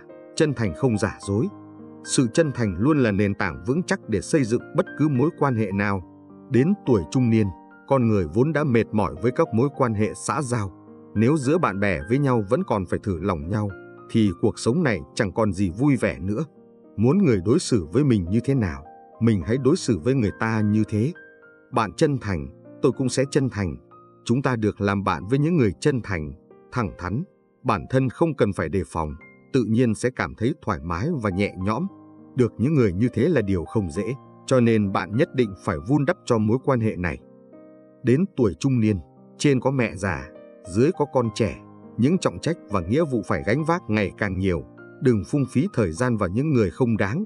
Hãy tìm những người bạn thật sự xứng đáng để trân trọng. Tôi từng nghe một câu nói rất hay, đừng đuổi theo một con ngựa, mà hãy dùng thời gian đó để trồng cỏ. Đợi mùa xuân tới, cỏ xanh non, ắt sẽ có cả đàn ngựa béo để bạn lựa chọn. Đừng cố làm thân với một người, hãy dành thời gian đó để trau dồi năng lực của mình. Khi bạn đủ tốt, những người phù hợp sẽ tự nhiên xuất hiện và trở thành bạn đồng hành trong cuộc sống. Chúng ta thường có xu hướng kết giao thật nhiều với hy vọng những mối quan hệ này sẽ mang lại lợi ích cho bản thân. Nhưng thực tế là, nếu bạn không có năng lực thì mạng lưới kết nối mạnh mẽ cũng trở nên vô ích. Những kết nối này sớm muộn gì cũng sẽ mất khi bạn không thể sử dụng. Đừng biến mình thành một kẻ chỉ biết đòi quyền lợi. Sẽ không ai quan tâm đến việc giúp đỡ một người chỉ biết đòi hỏi từ phía người khác. Không có bữa ăn nào miễn phí trên thế giới này cả, và không có kết nối nào là không có lý do. Khi bạn không có năng lực và không cố gắng, một điều quan trọng khác là đừng dễ dàng cho người quen vay tiền. Vay tiền dễ, đòi nợ mới khó. Có một câu hỏi rằng, làm thế nào để khiến một người mà bạn ghét biến mất khỏi cuộc đời của bạn? Câu trả lời nhận được nhiều sự khen ngợi nhất là, hãy cho anh ta vay tiền, sau đó thúc giục anh ta trả lại, và bạn sẽ thấy rằng anh ta bốc hơi nhanh như thế nào. Những người không trả nợ luôn có hàng triệu lý do để trốn tránh bạn. Vì vậy, hãy suy nghĩ kỹ trước khi quyết định cho người quen vay tiền. Nếu cảm thấy không thoải mái, sẽ tốt hơn là từ chối khéo léo. Cuối cùng, hãy nhớ rằng cuộc sống không bao giờ là sự thỏa hiệp và khoan dung không có chừng mực. Khi lòng tốt trở thành công cụ để người khác làm tổn thương bạn, cách tốt nhất là bỏ qua và bảo vệ chính mình. Học cách lắng nghe, đừng nói vội, đừng nói nhiều và đừng nói nhầm. Sự tỏa sáng của bạn không nằm ở việc bạn nói về bản thân, mà nằm ở việc lắng nghe người khác nói về bạn. Lắng nghe cẩn thận những gì người khác đang nói là một cách tự giáo dục mình và cũng là cách để không ngừng nâng cao trí tuệ. Lắng nghe giúp cải thiện giao tiếp, tránh hiểu lầm và đồng cảm thấu hiểu người khác hơn. Đừng đánh giá quá cao mối quan hệ với bất kỳ ai. Điều này có nghĩa là chúng ta thường có xu hướng đánh giá quá cao sự chú ý của những người xung quanh với mình. Thực tế là, trong mắt người khác, bạn có thể không quan trọng đến vậy. Đánh giá quá cao mối quan hệ của mình với người khác thường tạo ra kỳ vọng không thực tế. Khi kỳ vọng này không thành công, sự hụt hẫng xuất hiện và mang đến cảm giác khó chịu trong các mối quan hệ. Hãy thực sự tôn trọng lẫn nhau, không phải cố gắng làm hài lòng tất cả mọi người. Chỉ những người biết yêu bản thân mình mới nhận được tình yêu từ người khác. Trước hết, chúng ta phải học cách làm hài lòng bản thân, sau đó dùng trái tim hạnh phúc đó để hòa hợp với người khác. Nếu vì cố làm hài lòng người khác mà từ bỏ danh dự của chính mình, thì chính họ cũng không thích và không tôn trọng bạn. Khi bạn là người ưu tú, tự nhiên sẽ có nhiều người xuất sắc đến với bạn. Các mối quan hệ có lâu dài hay không đều tùy thuộc vào giá trị sử dụng của bạn. Giá trị sử dụng càng lớn, người khác sẽ giúp bạn càng nhiều. Trên thực tế, người thân và những người thực sự yêu bạn mới giúp bạn. Họ không cần bạn mời cơm để trả ơn họ. Họ sẵn sàng giúp bạn vì họ coi bạn là một phần trong cuộc đời của họ. Hãy cho chúng tôi biết bạn cảm thấy thế nào về phần này. Bạn đã học được điều gì mới mẻ? Bình luận số 1 nếu bạn cảm thấy phần này hữu ích, hoặc số 0 nếu bạn cần thêm thông tin. Hãy trân trọng những người giúp đỡ, thương yêu quý bạn, muốn cùng nhau hợp tác và phát triển. Chú ý đến hai điều. Đầu tiên, nguyên tắc chính của các mối quan hệ là trao đổi môn đăng hộ đối trong nghề nghiệp. Điều đầu tiên bạn cần biết là tài khoản của bạn phải có nhiều tiền, học thức tương xứng và thu nhập cao. Sự kết hợp của ba điều này có thể phản ánh việc mọi người ở cùng đẳng cấp với nhau hay không. Một phóng viên đã phỏng vấn một đứa trẻ ở trường mẫu giáo. Đứa trẻ này có rất nhiều tiền ở nhà và thường mang nhiều đồ chơi và đồ điện tử đến trường. Những đứa trẻ khác luôn thích tìm đứa trẻ này làm bạn để được chơi đồ chơi. Anh ta hỏi đứa trẻ, con có nhiều bạn bè như vậy, hẳn là con rất nổi tiếng, đúng không? Đứa trẻ nói, không, cậu chỉ có một người bạn, còn tất cả những đứa trẻ khác chỉ đến bên cậu khi chúng cần đồ chơi. Chỉ có chúng mới có thể cầm đồ chơi của mình để trao đổi với cậu. Vì vậy ai cũng nghĩ đó là bạn của cậu. Do đó, yếu tố để duy trì liên lạc và phát triển mối quan hệ đó là sự trao đổi, trao đổi ý kiến, cảm xúc, thông tin. Nhiều người không hiểu điều này. Ở nơi làm việc, họ liên tục mở rộng liên lạc và tham gia vào các mối quan hệ. Nhiều người thậm chí còn tự hào về số điện thoại của bạn bè họ đã lưu, bao nhiêu người họ gặp trong một tuần, hoặc thậm chí chỉ trong một thời gian ngắn. Nhưng khi gặp chuyện thì sao? những số điện thoại ấy có gọi được không? Thời gian làm cho bạn từ từ xa cách những người xung quanh, gây ra lo lắng và mặc cảm cho bạn. Tuy nhiên, đối với những mối quan hệ không có bất kỳ điều kiện trao đổi nào thì cũng thực sự không quan trọng. Điều thứ hai, mối liên hệ giữa người giàu và người nghèo rất thú vị. Thực tế, tôi có một người đồng nghiệp trong công ty tên Vương, làm nhân viên văn phòng trong công ty nước ngoài, lương tháng vài ngàn đô. Anh có cô bạn học chung, đại học tên Andy, 27 tuổi, đã trở thành CEO của một công ty Nhật Bản với mức lương hàng năm là 2 triệu đô. Vài ngày trước, cô này có về quê thăm gia đình và gặp anh Vương. Trước đây, cô này thường đến nhà anh Vương và nói chuyện thường xuyên.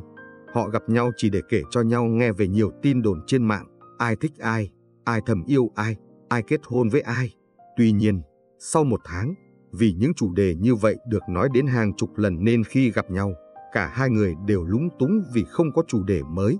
Bởi vì họ ở bên nhau, họ chỉ có thể thuật lại những chuyện cũ hàng chục lần, khiến cả hai nhàm chán. Dần dần do sự chênh lệch tiền lương khá lớn nên cả hai không còn trò chuyện với nhau. Vương là một nhân viên văn phòng bình thường. Anh thường đi làm bằng xe buýt, về nhà nấu ăn sau khi làm việc và thỉnh thoảng đến nhà hàng nhỏ để ăn món anh thích. Ngược lại, Andy thường đi đến nhà hàng sang trọng và cuộc sống của cô khá sung sướng cô thường đi vào nhà hàng và khách sạn 5 sao nghỉ dưỡng. Có lần Vương mời cô uống cà phê, cô nói, hãy đến sảnh khách sạn 5 sao chỗ tôi ở. Thế là Vương đến chỗ cô, hai người uống hai tách cà phê, dùng hai chiếc bánh nhỏ và một đĩa trái cây. Vì là đàn ông lịch sự nên anh đề nghị thanh toán. Nhưng khi trả tiền, số tiền lên đến khoảng 3 triệu đồng. Anh gục ngã vì số tiền này đủ để anh ăn cả tháng. Vấn đề giữa người giàu và người nghèo khác xa với những gì bạn tưởng tượng. Người giàu nghĩ việc ăn vài triệu là bình thường, trong khi nó lại là số tiền quá lớn đối với bạn. Những vấn đề lớn nhất là điều này làm cho bạn mệt mỏi. Chúng ta phải suy nghĩ xem làm sao để lịch sự nhưng không quá phung phí trong thói quen sinh hoạt. 3. Những người mà địa vị không tương xứng với nhau thì khó có thể bắt chuyện với nhau. Đối với những người không có điểm mạnh, bạn liên hệ với họ cũng vô ích. Nhưng đối với những người xuất sắc, có vô số người muốn liên lạc, thậm chí tự nguyện làm trâu ngựa cho họ. Bạn ơi, ngay cả khi bạn cho người nổi tiếng số điện thoại của bạn, bạn có nghĩ rằng mình thực sự có thể trở thành bạn bè với họ không? Nếu bạn không có điểm mạnh, bạn sẽ không bao giờ ngang hàng với kẻ mạnh về mọi mặt và không thể chen vào vòng tròn bạn bè chất lượng cao. Ngay cả khi bạn có chen vào được thì bạn vẫn chỉ là người ngoài cuộc. Các phương thức liên lạc mà bạn đã trao đổi trong công việc hoàn toàn không có ích về lâu dài. Bạn xóa người ta hoặc người ta sẽ xóa bạn. Nhiều người ở nơi làm việc, cho dù họ là nhân viên mới hay cũ, hoặc thậm chí nhiều ông chủ, nghĩ rằng họ đã chụp ảnh với một người nổi tiếng, bắt tay với một người nổi tiếng trong ngành, và vì vậy họ có thêm một phương thức liên lạc, để khi cần, họ có thể gọi người nổi tiếng đó để nhờ họ giúp. Trên thực tế, trong mắt họ, bạn là một người vô hình. Không phải họ khinh bạn, mà họ cũng giống như những người bình thường, chỉ có thể nhìn thấy và bắt chuyện với những người cùng đẳng cấp với mình hay những người có vị thế cao hơn họ để leo lên cao hơn. Rất khó kết bạn với Jack Ma và Trịnh Vi, nhưng hai người họ có thể trở thành bạn tốt vì họ cùng đẳng cấp. Bạn không có đủ sức mạnh ngang bằng với người khác, bạn chỉ có thể là chính mình. Gió tầng nào sẽ gặp được mây tầng đó, bạn là kiểu người nào thì bạn sẽ thu hút kiểu người ấy. Khi bạn không đủ mạnh và đủ tốt, đừng dành quá nhiều thời gian quý giá của bạn để lấy lòng ai cả. Hãy dành chút thời gian để rèn luyện và cải thiện bản thân. Có câu nói, gió tầng nào sẽ gặp mây tầng đó. Khi tu dưỡng đủ xuất sắc, tự nhiên có vô số người xuất sắc đến với bạn. Trước hết, hãy tăng cường năng lượng của bạn. Giao thiệp đâu phải là có bao nhiêu người biết bạn, mà là khi cần, bạn có thể gọi bao nhiêu người. Cải thiện sức mạnh của bạn và làm cho bản thân mạnh mẽ hơn sẽ thu hút người giỏi sẵn lòng giúp đỡ bạn. Không ngừng phấn đấu để bản thân bạn ngang tầm với kẻ mạnh, thay vì tìm kiếm và kết nối với mọi người. Bạn phải trở thành một mắt xích quan trọng mà người khác muốn liên kết. Trong thời đại siêu nhanh này, mọi người thường sử dụng đường tắt và họ thường bỏ qua thực tế rằng chỉ có thành công thực sự thông qua công việc khó khăn và làm việc chăm chỉ. Họ tin rằng kết bạn với mọi người là chìa khóa thành công, nhưng hãy nhớ rằng để thành công thì bạn cần có đủ sức mạnh và trí tuệ, còn mối quan hệ chỉ là phụ trợ. Một trong những điều tồi tệ của việc học thành công bây giờ là nó luôn cho bạn biết tầm quan trọng của việc đi lại và giao tiếp với người khác và thích nhấn mạnh trí tuệ cảm xúc. Trên thực tế, khó có ai có thể tóm tắt chính xác mức độ trí tuệ cảm xúc mà bất cứ ai có thể đạt đến. Cấp quản lý sẽ không quá ngu ngốc. Do đó, chúng ta phải ghi nhớ rằng chúng ta nên tập trung vào việc cải thiện thế mạnh của mình để nâng cao kỹ năng, năng lực và sự chuyên nghiệp thay vì dành quá nhiều thời gian cho các mối quan hệ cá nhân và mở rộng cái gọi là quan hệ rộng. 5. Người làm việc cũng cần phải hiểu rõ cái gì nên giữ và cái gì nên buông bỏ xin hãy từ bỏ những mối quan hệ xã giao vô dụng. Sự hiểu lầm lớn nhất của nhiều người về mạng lưới của họ là khái niệm lấy số lượng làm anh hùng. Trên thực tế, mối quan hệ của bạn có lâu bền hay không được thể hiện qua giá trị sử dụng của bạn. Giá trị sử dụng của bạn càng lớn, người khác sẽ giúp bạn càng nhiều. Thay vì dành thời gian để tìm hiểu và kết thân với nhiều người nhằm nhờ và tốt hơn hết là hãy dành thời gian để cải thiện giá trị cá nhân của riêng mình. Nhiều người rất lạ, ở bất cứ nơi nào có hoạt động gì cũng có họ, ai gọi ra cũng giả, ai kêu gì làm đấy. Họ bị gọi là người lãng phí thời gian hay thanh niên thân thiện. Kiểu người này thường không có năng lực, thích làm tay sai để nương tựa người mạnh hơn và rất khó thành công. Tôi lại tự hỏi, tại sao một số người có thể là giám đốc điều hành khi còn trẻ? Đó là vì họ thực sự muốn thăng tiến, họ thực sự làm việc chăm chỉ, cần mẫn, trong khi người khác nghĩ cách đi đường tắt dựa dẫm vào các mối quan hệ vô ích và vô nghĩa. Trong các mối quan hệ của bạn, không tránh khỏi việc người khác coi thường bạn, nhưng cũng có nhiều người coi bạn là một nút thắt quan trọng. Ngoài gia đình, bạn bè thân thiết, người yêu và người thân, có nhiều mối quan hệ không cần bạn phải duy trì, vì năng lượng và thời gian của một người rất hạn chế. Phải biết cách quản lý năng lượng và tập trung vào những điều có ý nghĩa. Hãy dành thời gian và công sức ở nơi người trân trọng giá trị của bạn và sẵn lòng giúp đỡ bạn. Cảm ơn bạn đã theo dõi đến phần này. Bây giờ hãy dành một chút thời gian để chia sẻ suy nghĩ của bạn về những gì đã được trình bày. Bạn có thể dừng video lại 5 giây để gửi phản hồi của mình. Kính mời quý vị hãy cùng lắng nghe chuyện ngắn có tựa đề Bạn già của tác giả Trúc Đào. Ba ơi, đợi qua Tết con đưa ba lên thành phố với vợ chồng con nghe ba. Ông Phúc nghe mà mặt rượu buồn thiêu, lòng nhẹ nhõm bởi nhiều lời muốn nói với con mình mà không sao nói được. Hồi lâu sau, ông mới nói với con mình, ba ở quê từ nhỏ, đâu phải cứ dục lòng ra đi là ra đi được đâu con. Với lại ba với ông xỉu quanh làm bạn với ba, ông cũng như ba đều không có vợ con bên cạnh. Hai ông bạn già này nương tựa với nhau bấy lâu, giờ ba đi mà bỏ ông lại một mình cũng không đành. Cô anh con ông Phúc nghe xong thấy khó chịu lắm, trách ông Phúc cứ lo cho người dưng mà không nghĩ đến con mình. Còn nói, nếu ông bệnh thì chú xỉu có chăm lo cho ông được không? Người ngoài làm sao chăm được bằng gia đình mình? Ông Phúc nghe xong chỉ còn biết lắc đầu, buông tiếng thở dài. Quanh lặng như nút, chứng ngược thời gian vào bên trong nó. Tiếng gió rít, tiếng nước chảy ở nhà ông Phúc cứ vọng thật lớn trong buổi chiều tối, làm động lại những chuỗi âm thanh khiến lòng người nhức nhối, dấy lên những nỗi lòng buồn thương của cả hai cha con. Cũng chẳng biết từ khi nào, chuông gọi đã vang lên âm thanh tút tút, màn hình lại tắt vụt đi. Ngoài trời chỉ còn đám mây hồng hồng của buổi chiều tối, với những tia nắng cuối ngày lên loang qua từng chiếc lá ngoài sân vườn rồi chảy đến bên cánh cửa sổ bằng gỗ trước cửa nhà, làm sao động lòng đầy gió lớn của ông Phúc. Cảm nhận được sự bình yên, ông đi đến bật công tắc đèn ở bàn thờ giữa nhà. Ánh đèn chỉ sáng một góc nhỏ, mà thật ra nhà ông cũng không lớn nên ông thấy bình thường quá đỗi. Dù hàng xóm xung quanh tình cờ đi ngang cũng nói, đèn mở, quạt kêu, ông đừng tiết kiệm như thế. Giờ con cái cũng có công ăn việc làm cả rồi, đủ lo cho ông cả. Nhưng giờ ông chỉ cười nhạt chứ chẳng nói gì thêm. Ông nói nhiều có khi người ta nghe thấy lại giống khoe khoang, cũng không hay mà ông im lặng cũng không có ý trách con của mình. Ông quen tiết kiệm rồi, mấy mươi năm thói quen đã vậy, mà ông biết mình đã già rồi, đâu cần thay đổi những cái không cần thiết chứ. Ông thấy cuộc sống mình như thế là đã đủ, chẳng thua kém ai. Ông có mảnh đất, mái nhà mà nhiều người ao ước. Ông có con cũng biết yêu thương và lo lắng cho ông.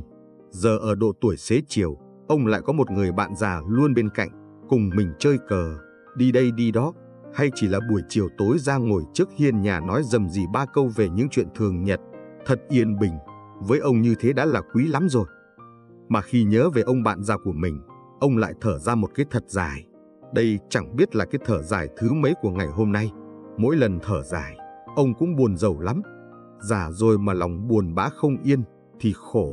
Nhưng ông chẳng biết phải nói với con mình thế nào cho tụi nó hiểu lòng ông. Giờ ông cũng có tuổi rồi mà lại xa gia đình, lòng ông không chịu được. Lúc trước còn trẻ, ông thấy con mình có công việc thì vui lắm. Dù khoảng cách có xa, nhưng ông nghĩ là vài tháng về là được chứ. Tụi nó lớn rồi, có công việc thì sau này đỡ khổ, mà ông cũng đỡ lo. Mà giờ đây, nhiều đêm khuya trở giấc, ông lại thấy lòng nặng trĩu. Ông biết mình khát khao được gần con, gần cháu. Nhiều hôm đang ăn, ông chợt buông đũa xuống, cứ nhìn về phía đối diện, rồi nhìn về khoảng không xa xăm nào đó, mắt cứ như vô định nhưng lại buồn man mác. Hay nhiều hôm đi từ ruộng về, ông thấy chú Tư hàng kế bên đang dỗ bảy cháu đang khóc giành kẹo bánh mà khóe mắt ông thấy cay. Ông nghe chú Tư than, giữ cháu mệt quá, cực lắm.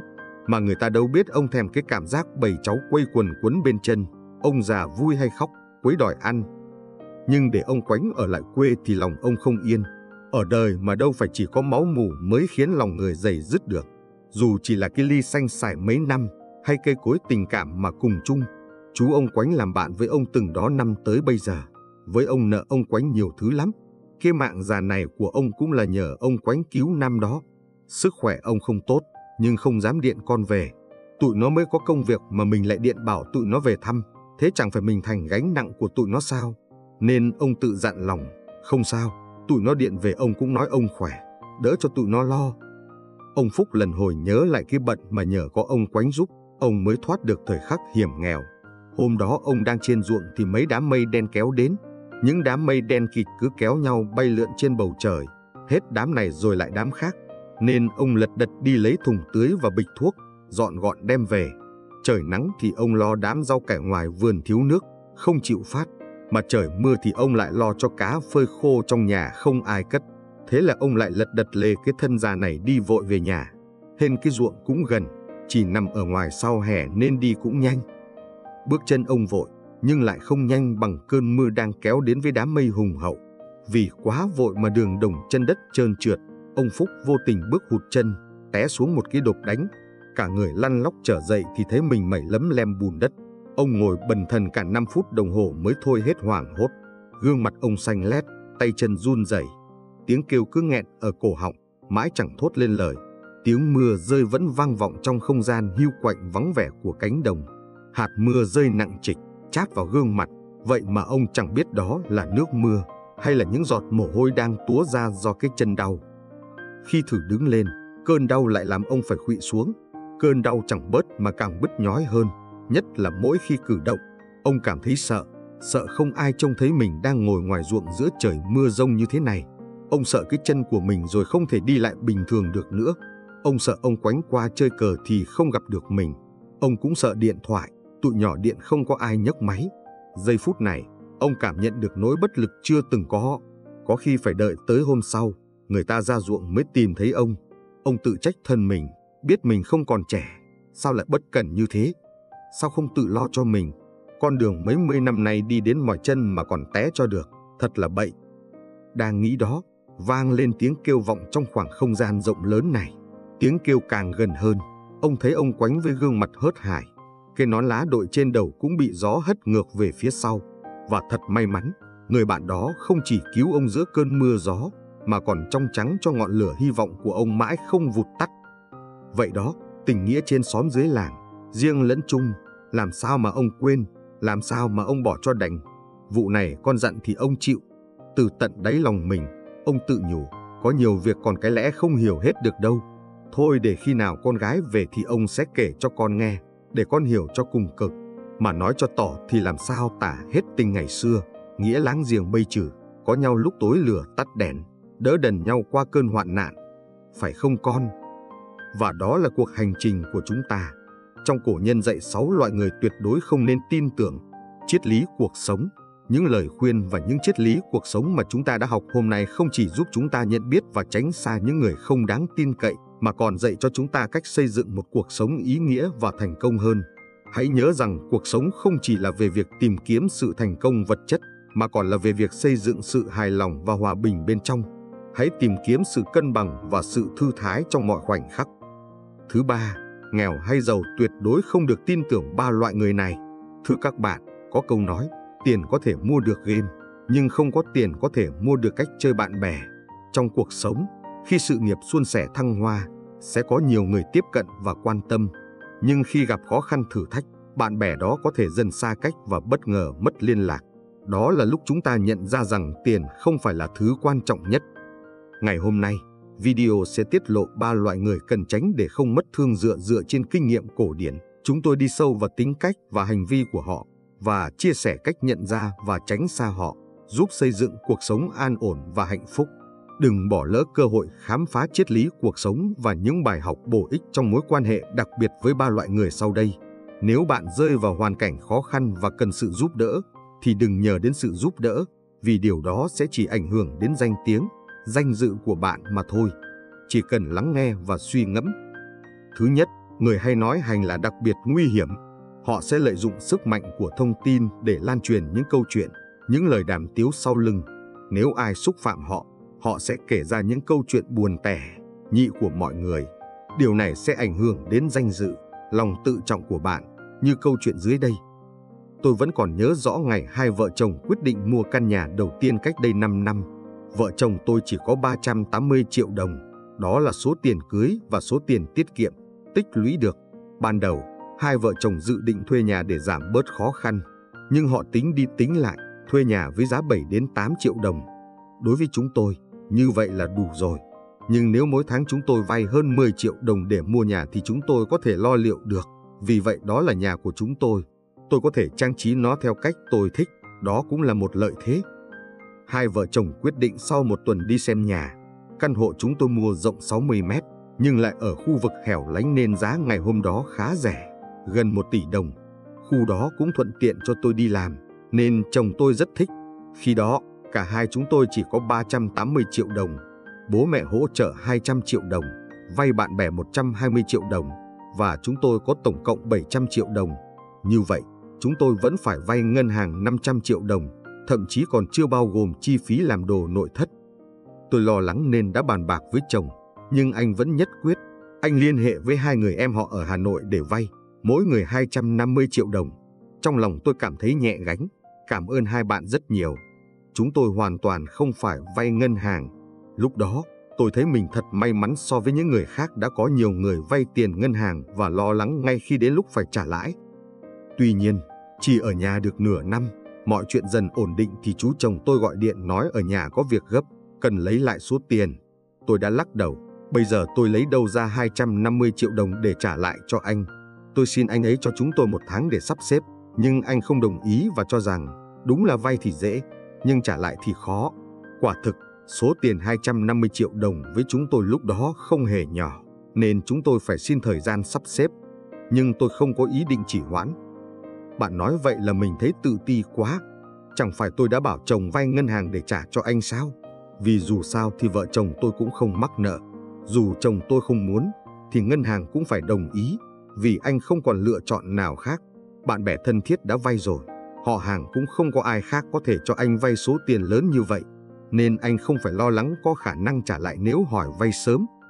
Cho tưởng bão đã qua, nhưng mấy tháng sau khi đang dỗ dành một người họ hàng, tôi nghe được chuyện vay tiền anh em chồng nhưng khác xa với thực tế. Vợ chồng tôi vay tiền ngọt ngào đến mức khi hỏi vay cũng ngần ngại. Lý do là chúng tôi có ý định chạy trốn nợ nần khi còn nhỏ, nhưng chúng tôi đã cố gắng lừa dối ngay cả người lớn. Tôi nghe thấy, nhưng tai tôi như ù đi, cổ họng tôi nghẹn lại. Thì ra chuyện chúng tôi vay tiền là do chú kể lại. Bác đưa chúng tôi đi làm lễ khắp nơi, không những thế còn thêm rất nhiều muối và nước mắm, để bây giờ phải đối mặt với anh em họ. Sau lần đó, chúng tôi làm việc ngày đêm, cố gắng kiếm tiền trả nợ càng nhanh càng tốt. Tôi đã rút kinh nghiệm rằng dù khó khăn đến mấy cũng không nên vay tiền của những người thích kể chuyện. Tôi cũng biết rằng nợ ngân hàng không đến nỗi tệ, nên vợ chồng tôi đã cố gắng hết sức tạo động lực cho mình mỗi tháng phải kiếm đủ tiền trả. Vì nợ ngân hàng hàng tháng phải trả lãi, chồng tôi cũng năng động hơn rất nhiều và hạn chế hẳn việc ăn uống, sinh hoạt, kinh doanh, quyết tâm trả hết nợ. Thứ hai, không nên nhờ vào người coi thường thua cuộc. Từ xa xưa, thói ghen ghét, đố kỵ đã tồn tại và trở thành một phần trong các câu chuyện dân gian, tục ngữ mà tổ tiên chúng ta truyền lại. Những câu tục ngữ châm biếm như gà giận nhau ấy, chó gáy ép trồ ghét phải ăn đều ám chỉ sự đố kỵ giữa những người cùng trong hoàn cảnh. Nếu không thể vượt qua được sự ghen tị, tốt nhất là hãy dẹp bỏ nó. Tuy nhiên, ngày nay thói ghen tị và đố kỵ không những không giảm mà dường như còn phát triển mạnh mẽ hơn. Mức độ nguy hiểm của nó ngày càng tăng, không chỉ giới hạn ở việc ghen tị với những người tài giỏi hay giàu có hơn mình, mà còn lan rộng đến cả những khía cạnh nhỏ hơn trong cuộc sống, như người có con cái giỏi giang hơn, nhà cửa đẹp đẽ hơn. Kiểu người hay ghen tị và coi thường thua cuộc thường có xu hướng đối đầu và tìm cách gây khó dễ cho người khác. Họ không tin tưởng và luôn nghi ngờ động cơ của mọi người xung quanh. Điều này làm cho mối quan hệ với họ trở nên căng thẳng và thiếu sự chân thành. Khi mối quan hệ đã rơi vào tình trạng này, rất khó để có được sự sẻ chia và hỗ trợ lẫn nhau.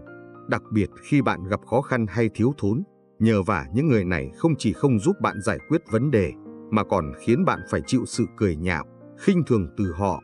Họ có thể tỏ ra vui mừng trước sự thất bại của bạn, thậm chí còn dùng điều đó để làm tổn thương lòng tự trọng của bạn.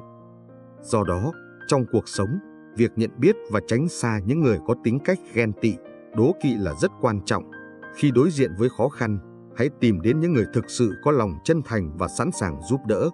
Những người luôn sẵn lòng chia sẻ và đồng cảm sẽ mang lại sự hỗ trợ tích cực, giúp bạn vượt qua giai đoạn khó khăn.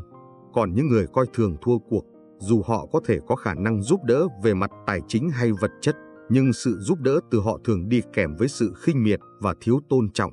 Hãy tránh xa họ để bảo vệ lòng tự trọng và giữ cho mình một tinh thần lạc quan, tích cực.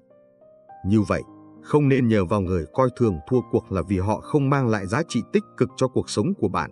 Thay vào đó, Hãy xây dựng mối quan hệ với những người biết tôn trọng và cảm thông để có thể nhận được sự hỗ trợ chân thành và đáng quý khi gặp khó khăn. Điều này không chỉ giúp bạn vượt qua thử thách mà còn duy trì được những mối quan hệ tốt đẹp và bền vững. Thứ ba là người kiếm tiền vô lương tâm, luôn gây ra sự khó chịu và bất an trong xã hội. Đây là loại người có tiền, nhưng số tiền họ kiếm được lại bằng cách lừa đảo, chiếm đoạt tiền của người khác. Họ không ngần ngại sử dụng mọi thủ đoạn để tích lũy tài sản, từ việc gian lận đến việc lợi dụng lòng tin của người xung quanh. Những hành vi này không chỉ vi phạm đạo đức mà còn gây tổn hại nghiêm trọng đến lòng tin và sự an toàn tài chính của cộng đồng. Một trong những chiêu trò thường thấy của những người này là cho vay nặng lãi.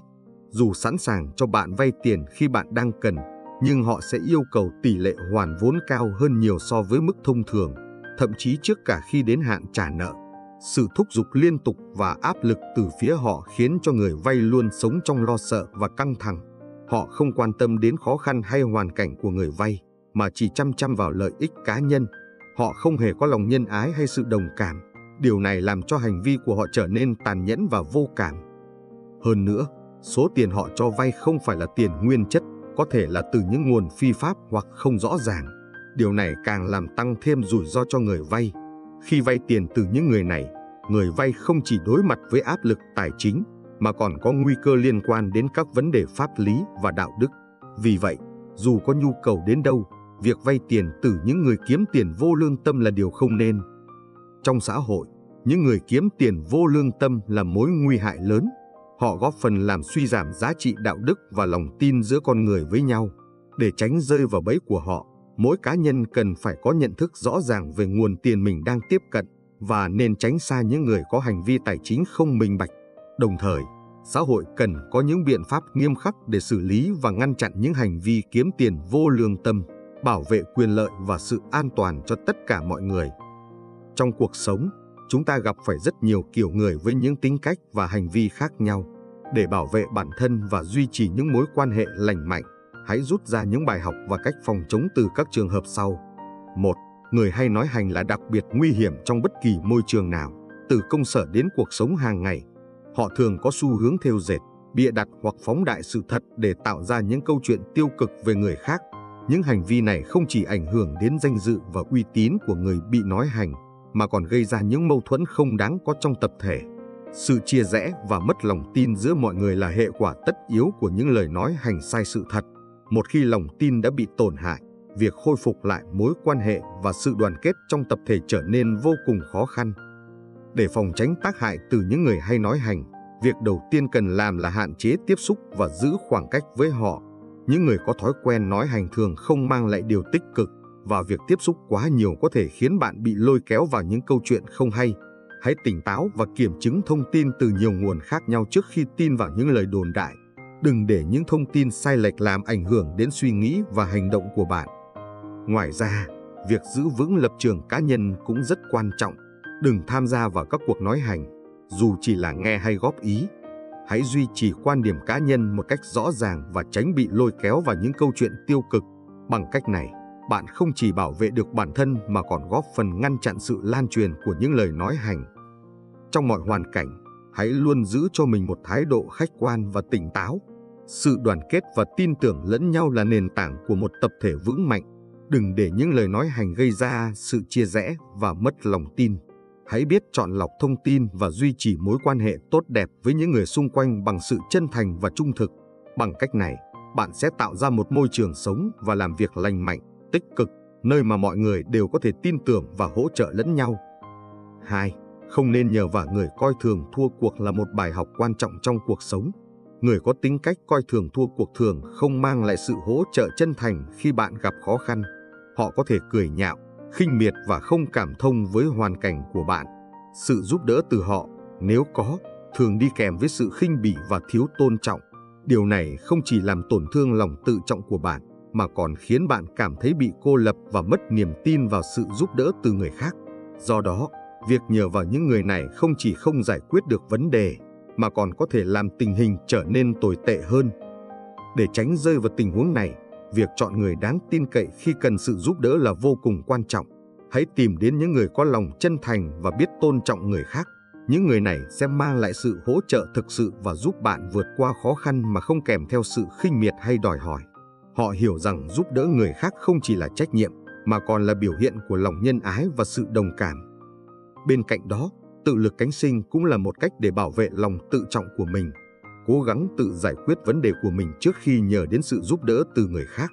Điều này không chỉ giúp bạn trở nên mạnh mẽ và tự tin hơn, mà còn giảm bớt sự phụ thuộc vào người khác. Khi bạn tự lực cánh sinh, bạn cũng tạo ra một hình ảnh tích cực về bản thân trong mắt mọi người, từ đó thu hút được sự tôn trọng và hỗ trợ chân thành từ những người xung quanh.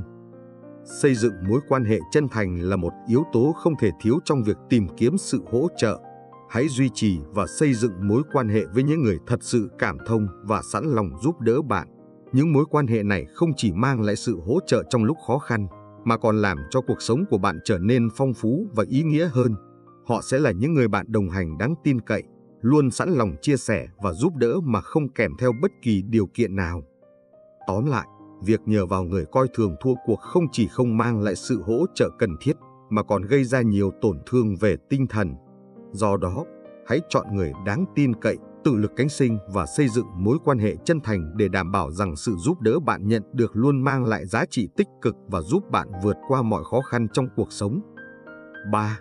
Người kiếm tiền vô lương tâm sẵn sàng sử dụng mọi thủ đoạn, kể cả lừa đảo và chiếm đoạt tài sản của người khác để làm giàu. Họ không quan tâm đến đạo đức hay hậu quả của hành động mình, chỉ chú trọng đến lợi ích cá nhân. Những người này thường thiếu đạo đức kinh doanh và không ngần ngại phá vỡ các quy tắc pháp luật để đạt được mục tiêu của mình. Hành vi của họ không chỉ gây tổn hại trực tiếp đến những người bị lừa đảo, mà còn làm suy giảm niềm tin vào hệ thống tài chính và xã hội nói chung. Việc liên quan đến những người này có thể khiến bạn gặp rủi ro tài chính và pháp lý dẫn đến mất mát tài sản và có thể phải đối mặt với các vấn đề pháp lý phức tạp. Để tránh rơi vào bẫy của những người kiếm tiền vô lương tâm, điều đầu tiên cần làm là kiểm tra kỹ nguồn gốc tiền bạc và tính hợp pháp của các giao dịch trước khi vay mượn hoặc hợp tác. Việc này không chỉ giúp bạn đảm bảo rằng nguồn tiền bạn tiếp cận là minh bạch, mà còn giúp bạn tránh xa các hoạt động phi pháp có thể gây hại cho mình. Hãy luôn yêu cầu thông tin chi tiết và các tài liệu chứng minh tính hợp pháp của các khoản tiền và giao dịch. Đồng thời, không ngần ngại đặt câu hỏi nếu có bất kỳ điểm nào không rõ ràng. Ngoài ra, việc tránh xa những người có hành vi tài chính không minh bạch hoặc có dấu hiệu lừa đảo là rất quan trọng. Những người này thường có các biểu hiện mơ hồ, không rõ ràng về nguồn gốc tài sản hoặc có lịch sử tài chính đáng ngờ. Họ có thể sử dụng các chiêu trò tinh vi để lôi kéo bạn vào các giao dịch không hợp pháp hoặc tạo ra các cơ hội đầu tư giả mạo. Hãy luôn tỉnh táo và sáng suốt trong việc lựa chọn đối tác tài chính và đừng bị lôi kéo bởi những lời hứa hẹn về lợi nhuận cao mà không có cơ sở rõ ràng. Khi cần hỗ trợ tài chính, hãy tìm đến các nguồn hỗ trợ hợp pháp và uy tín như ngân hàng hoặc các tổ chức tín dụng đáng tin cậy. Những tổ chức này không chỉ cung cấp các dịch vụ tài chính an toàn, mà còn có các quy định rõ ràng và bảo vệ quyền lợi của bạn theo pháp luật. Họ có thể cung cấp các gói vay với lãi suất hợp lý và các điều khoản minh bạch giúp bạn tránh xa các rủi ro tài chính không đáng có. Hơn nữa, các tổ chức uy tín này thường có các dịch vụ tư vấn tài chính chuyên nghiệp, giúp bạn đưa ra các quyết định tài chính đúng đắn và an toàn. Tóm lại, để bảo vệ bản thân khỏi những người kiếm tiền vô lương tâm, hãy luôn kiểm tra kỹ nguồn gốc tiền bạc và tính hợp pháp của các giao dịch trước khi vay mượn hoặc hợp tác. Tránh xa những người có hành vi tài chính không minh bạch và tìm đến các nguồn hỗ trợ hợp pháp và uy tín khi cần thiết. Bằng cách này, bạn có thể bảo vệ tài sản của mình và duy trì sự an toàn tài chính trong mọi tình huống. Việc nhận biết và phòng tránh những kiểu người nguy hiểm là một kỹ năng quan trọng, giúp bạn bảo vệ bản thân và duy trì các mối quan hệ lành mạnh, đáng tin cậy trong cuộc sống. Chúng ta thường xuyên gặp gỡ và tương tác với nhiều người khác nhau, và không phải ai cũng có ý định tốt hay hành vi đúng đắn. Những người có thói quen nói hành, kiếm tiền vô lương tâm hay coi thường thua cuộc đều có thể gây ra những hậu quả tiêu cực, không chỉ về mặt cá nhân mà còn ảnh hưởng đến sự hòa hợp chung của tập thể. Để tránh những rủi ro này, hãy luôn tỉnh táo và thận trọng trong việc lựa chọn người mà bạn giao tiếp và hợp tác. Điều quan trọng là phải kiểm chứng thông tin từ nhiều nguồn khác nhau, không để những lời đồn đại hay những lời hứa hẹn không có cơ sở làm ảnh hưởng đến quyết định của mình. Hãy tìm kiếm sự chân thành và minh bạch trong các mối quan hệ và xây dựng mạng lưới bạn bè, đồng nghiệp dựa trên sự tin tưởng và tôn trọng lẫn nhau. Bằng cách này, bạn sẽ tạo ra một môi trường xung quanh tích cực và an toàn, nơi mà mọi người đều có thể hỗ trợ và giúp đỡ lẫn nhau một cách chân thành. Điều này không chỉ mang lại lợi ích ngắn hạn, mà còn góp phần xây dựng nền tảng vững chắc cho sự phát triển cá nhân và nghề nghiệp của bạn trong tương lai. Các bạn thân mến, khi không có gì trong tay, chúng ta sẽ biết mình không thể dựa vào ai và cũng biết ai luôn sẵn sàng chân thành giúp đỡ nhiều nhất có thể. Nhưng suy cho cùng, cầu nguyện cho người khác không bằng cầu nguyện cho chính mình, chờ đợi sự giúp đỡ không tốt bằng việc học cách tự giúp mình. Nếu bạn có thể một mình đương đầu với thời điểm khó khăn, tốt nhất bạn sẽ trưởng thành nhanh chóng và không có khó khăn nào có thể đánh gục bạn. Bạn thân mến, mỗi người được cuộc đời ban tặng nhiều phước lành, mỗi người mỗi khác. Sự khác biệt chính nằm ở trạng thái tồn tại về mặt tâm lý. Một người có trạng thái tâm lý tích cực, tràn đầy năng lượng, chắc chắn sẽ gặp nhiều may mắn. Ngược lại, người tiêu cực sẽ mang lại điều xui xẻo. Nếu cơ thể và tâm trí của bạn đang có những triệu chứng sau đây, thì hãy coi đó là do chính tay bạn đã xua đuổi những phước lành của cuộc sống của bạn. Chúng ta hãy lắng nghe và suy ngẫm. Hãy cho chúng tôi biết bạn cảm thấy thế nào về phần này. Bạn đã học được điều gì mới mẻ? Bình luận số 1 nếu bạn cảm thấy phần này hữu ích, hoặc số 0 nếu bạn cần thêm thông tin. Cũng có nhiều bạn hỏi về nên có những cuốn sách nào để gối đầu giường dành để phát triển bản thân. Những cuốn sách trong link mô tả sách nói minh chiết có đính kèm link các bạn có thể tham khảo và chọn đọc. Việc đọc những quyển sách này không chỉ giúp bạn củng cố niềm tin vào những triết lý mà bạn đang theo đuổi, mà đôi khi chỉ cần sự lặp đi lặp lại của những tiêu đề trên bìa sách trong tâm trí cũng đủ để giúp bạn sống tốt hơn. Hãy thử dành ra 30 đến 45 phút mỗi ngày thay vì lướt mạng xã hội để ngồi xuống và đọc một cuốn sách.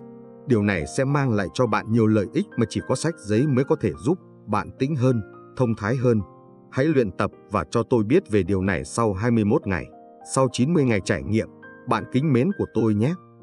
Thứ nhất, người khắc nghiệt thích lời lẽ cay nghiệt. Họ đối xử với người khác rất nhẫn tâm và vô ơn. Thật khó để làm bất cứ điều gì để ngăn chặn chúng và làm cho họ hạnh phúc. Điển hình trong câu chuyện dưới đây, Hà mới kết hôn được hơn một năm và về sống với gia đình chồng. Vài ngày sau khi sinh đứa con đầu lòng, vì công việc, chồng Hà phải đi xa, mong vợ được thoải mái anh xin phép vợ con về nhà bà ngoại để ở cho đến hết kỳ kinh. Trong thời gian đó, đã xảy ra một sự cố nhỏ. Con trai chị Hà, dù đã rụng rốn nhưng vẫn bị mẩn đỏ. Hà rất lo lắng cho con. Cô cũng đã đưa con đi khám và nhận được những lời khuyên hữu ích. Chiều hôm sau, mẹ chồng gọi điện. Và điều đầu tiên bà nói không phải là hỏi thăm tình trạng của con tôi, mà là mắng và dọa tôi, bảo anh đưa cháu đi xa bác sĩ, đã đưa ông đi và không có chuyện gì xảy ra. Sau đó ông qua đời. Khi con dâu chào đời, cô chỉ đến chơi với Hà một lần. Mọi chuyện của Hà, cô chỉ biết nhờ một người hàng xóm đến thăm và kể cho cô biết. Hy vọng về cách cư xử của mẹ chồng, cô đã khóc rất nhiều. Phụ nữ mới sinh con thường tâm lý dễ căng thẳng, nên khi tâm sự chuyện này với chồng, Hà chỉ muốn giải tỏa tâm lý chứ không có ý gì khác. Tuy nhiên, chồng cô đã làm một việc ngu ngốc và mọi hậu quả sau đó đều đổ lên đầu cô.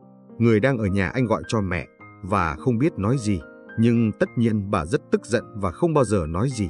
Bà Hà vẫn làm tròn bổn phận, gọi điện hoặc thăm chú cháu mỗi hai tuần. Dù đang mang thai nhưng Hà vẫn đưa con từ nhà ngoại về chơi với ông bà nội hai ngày. Sau khi nghỉ sinh, Hà trở về nhà chồng và càng buồn hơn khi nghe tin này. Lời mẹ chồng cay nghiệt, bà nhìn con Hà nói rằng bố con nghịch ngợm, mẹ con nghịch ngợm và con trai cũng nghịch ngợm tốt nhất nên tránh xa khỏi nhà con gái. Cô được gần 4 tháng tuổi, cô có thể làm gì? Bạn biết gì không? Mẹ chồng Hàn luôn coi thường người khác, trong khi bản thân bà lại xuất thân từ tầng lớp lao động. Bà luôn phân biệt giữa người quê và người thành phố. Hà có bốn người giúp việc để làm việc, không ai làm việc quá 4 tháng. Mắt ai cũng xanh biết vì bị bắt nạt, bà mắng chửi, chỉ trích vì nấu ăn theo phong cách đồng quê.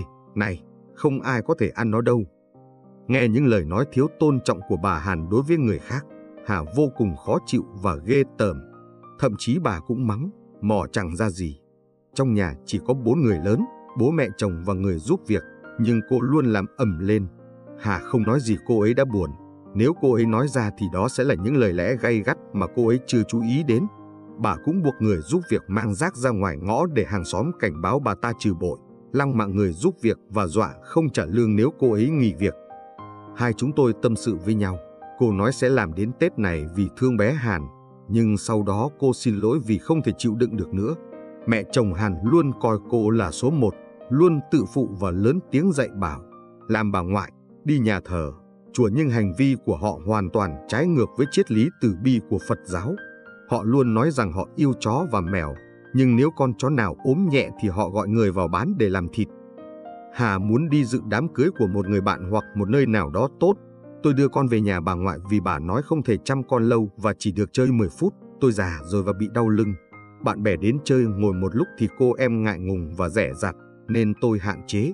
Bản thân phải làm điều gì đó, nếu không cần đến, tôi sẽ nhanh chóng rời đi. Chồng Hà là người kiếm tiền nên không phụ thuộc vào bố mẹ chồng. Ngôi nhà rộng rãi cả gia đình đang sống ở đây được chồng mua về để tỏ lòng hiếu thảo với cha mẹ. Hà chưa bao giờ cãi lại, dù chỉ một lần. Nhưng càng ngày cô càng nhận ra mẹ chồng mình thực sự độc ác và thiếu tình người. Trong chính ngôi nhà mình đang ở, cô tự hỏi liệu với những con người sống cuộc đời ác độc như vậy, thì số phận làm dâu có phải chịu đựng mãi mãi không? Thưa quý vị, với ngôn ngữ hoa chuông, các bạn thường chỉ trích người khác là ai? Sống khắc nghiệt, coi mình là trung tâm, vì vậy hạnh phúc sớm vụt tắt, chỉ đứng sau hưởng danh lợi. Đây là loại người chỉ tìm kiếm lợi ích cho bản thân, trong thâm tâm họ luôn coi trọng lợi ích cá nhân. Họ luôn muốn lợi dụng người khác, sẵn sàng quên bạn bè người thân vì lợi nhuận. Cả nhà vừa ăn tối xong thì chuông cửa reo, con dâu lớn của ông lên tiếng, hôm nay ông ta lợi dụng vợ chồng chú Dũng đến thăm bố cháu và mời ông Lê luật sư đến để thông báo về việc thừa kế.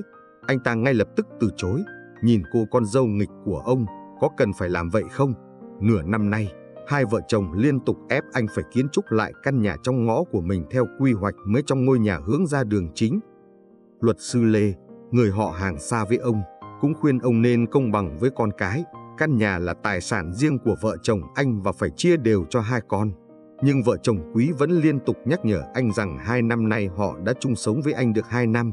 Ngôi nhà cũ nát như mắm nêm, họ đã phải tốn tiền sửa chữa để nó trở nên rộng rãi như vậy. Họ thậm chí còn không nhớ rằng có một người cha đã nuôi nấng và chăm sóc họ. Ba người con, chỗ ông lương hưu 8 triệu, nhưng vợ chồng ông ngày nào cũng không ăn uống gì. Gia đình vợ anh lây luôn ở đó, người chồng làm theo và ép anh làm công chứng để giao nhà cho họ. Mấy năm gần đây, sức khỏe của ông ngày càng xa sút Có người nghĩ nếu chẳng may mình mắc bệnh hiểm nghèo thì phải dựa vào ai, nên đành phải làm theo ý họ.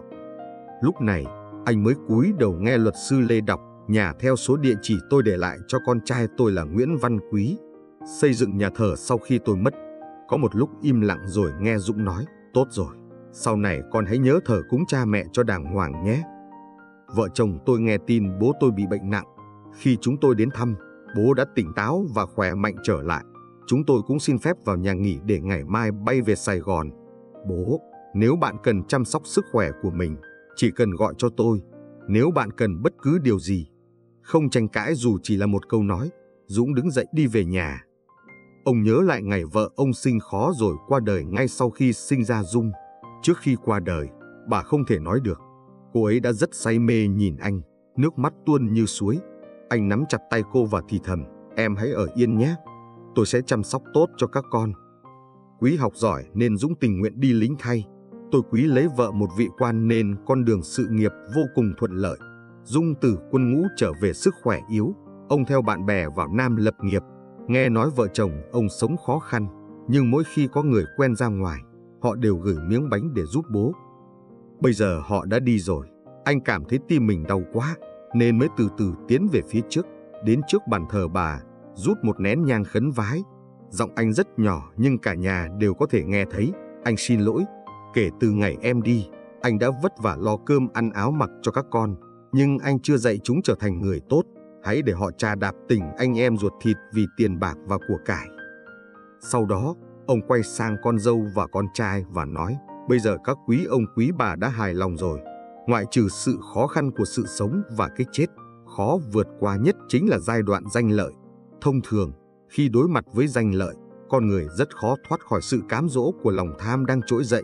Một khi họ đã có ý định chỉ hưởng danh lợi thì chắc chắn phước sẽ rời xa. Thứ hai là cố thích tỏ ra thông minh. Một chàng trai trẻ đầy tò mò đã đến gặp một nhà thông thái để tìm kiếm câu trả lời cho câu hỏi về sự khôn ngoan. Chàng hỏi nhà thông thái rằng, Sự khôn ngoan thật sự là gì? Nhà thông thái không trả lời ngay, thay vào đó ông đưa cho chàng trai ba chiếc túi và nói rằng trong mỗi chiếc túi này chứa một phần trí tuệ của ông, tổng hợp toàn bộ trí tuệ mà ông có được. Chàng trai mang ba chiếc túi về nhà và mở ra từng chiếc một cách cẩn thận. Chiếc túi thứ nhất, khi mở ra, bên trong chỉ có một từ duy nhất, khiêm tốn. Chàng trai có chút ngạc nhiên nhưng tiếp tục mở chiếc túi thứ hai. Bên trong chiếc túi thứ hai cũng chỉ có một từ, khiêm tốn. Chàng trai bắt đầu cảm thấy bối rối, nhưng kiên nhẫn mở chiếc túi cuối cùng. Và thật bất ngờ, trong chiếc túi thứ ba cũng chỉ có từ khiêm tốn. Chàng trai lúc này hiểu ra một điều sâu sắc. Những người có tầm nhìn thực tế luôn nhận thức rằng có những ngọn núi cao hơn, những ngọn đồi có những con sông dài hơn mà nước chảy mãi không ngừng. Trên đời này không bao giờ thiếu những người giỏi hơn mình.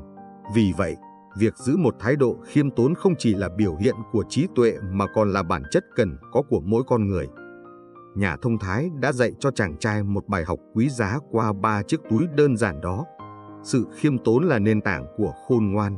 Những người thực sự thông minh không bao giờ tự cho mình là tốt nhất, mà luôn giữ một thái độ khiêm tốn, luôn học hỏi và không ngừng hoàn thiện bản thân. Điều này không chỉ giúp họ tiến bộ mà còn giúp họ được người khác tôn trọng và yêu mến. Điểm lớn nhất của một người trong phần cuối của chương trình hôm nay, mời các bạn cùng nghe câu chuyện về một làng cướp ở miền Bắc Ấn Độ. Có một ngôi làng tên là Cách Y Mã. Nơi đây, đất đai cằn cỗi và cuộc sống người dân khốn khổ, đau khổ.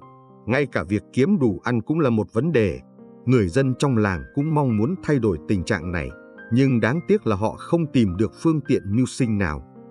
Cách làng không xa có đường quốc lộ, giao thông khó khăn, các phương tiện đi qua đây thường xuyên xảy ra sự cố. Có lần, chiếc xe chở lương thực lao xuống mương sâu rồi lật nhào, các hòm thực phẩm tràn ra đất. Chiếc xe bị thương phải nhờ một phương tiện tiện lợi mới đến được bệnh viện, không có người trông coi hàng hóa. Dân làng thấy vậy liền trộm hàng chục nghìn lương thực rồi mang về nhà. Trong nhiều ngày liền, nhà nào cũng có đồ ăn. Sự việc này đã khơi dậy trong tâm trí người dân làng một con đường kiếm sống. Tục ngữ nói ở gần núi mới có cơm ăn nhờ núi. Nếu bạn ở gần nước bạn có thể có thức ăn nhờ nước. Dân làng hoàn toàn có thể kiếm được lợi nhuận từ con đường gần nhà, nên họ thường lảng vảng gần con đường đó, mong gặp những chiếc xe vận chuyển lương thực gặp sự cố không may như vậy để tranh thủ thu hoạch. Những tai nạn xe cộ là điều không thể xảy ra thường xuyên. Mỗi lần thấy xe chở đồ ăn, quả lại mà không lấy được gì, họ rất không vui. Ban đêm, họ nảy ra ý tưởng tận dụng đoạn đường vắng.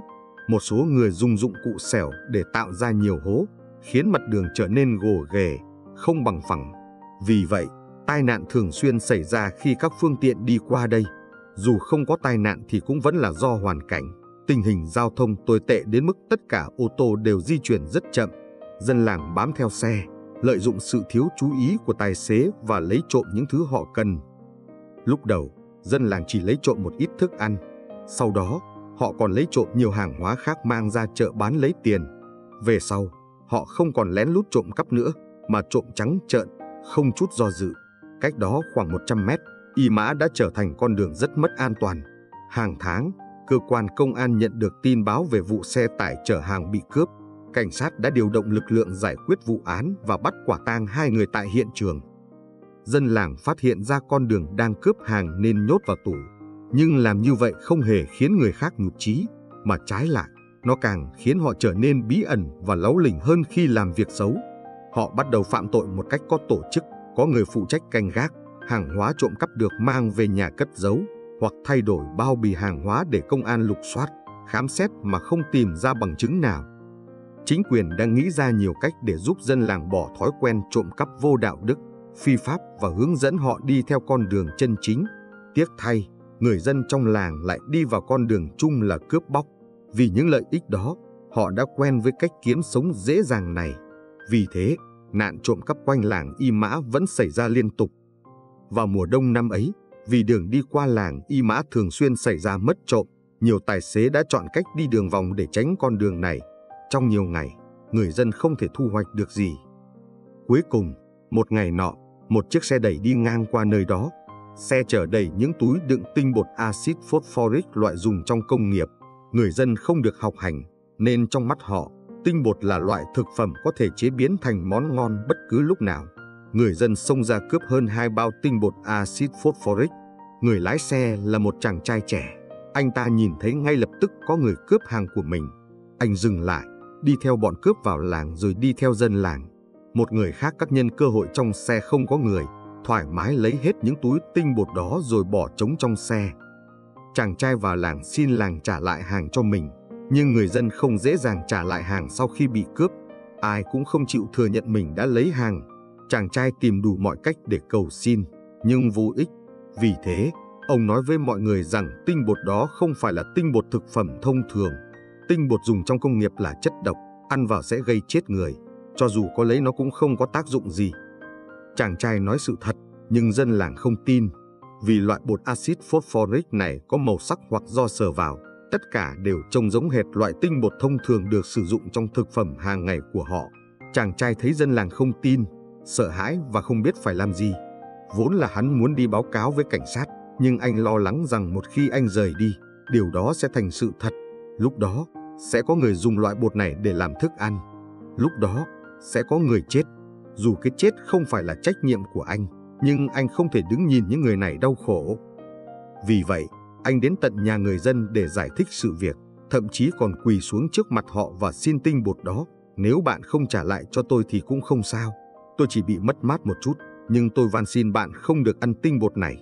Lặp đi lặp lại, nó sẽ giết chết bạn.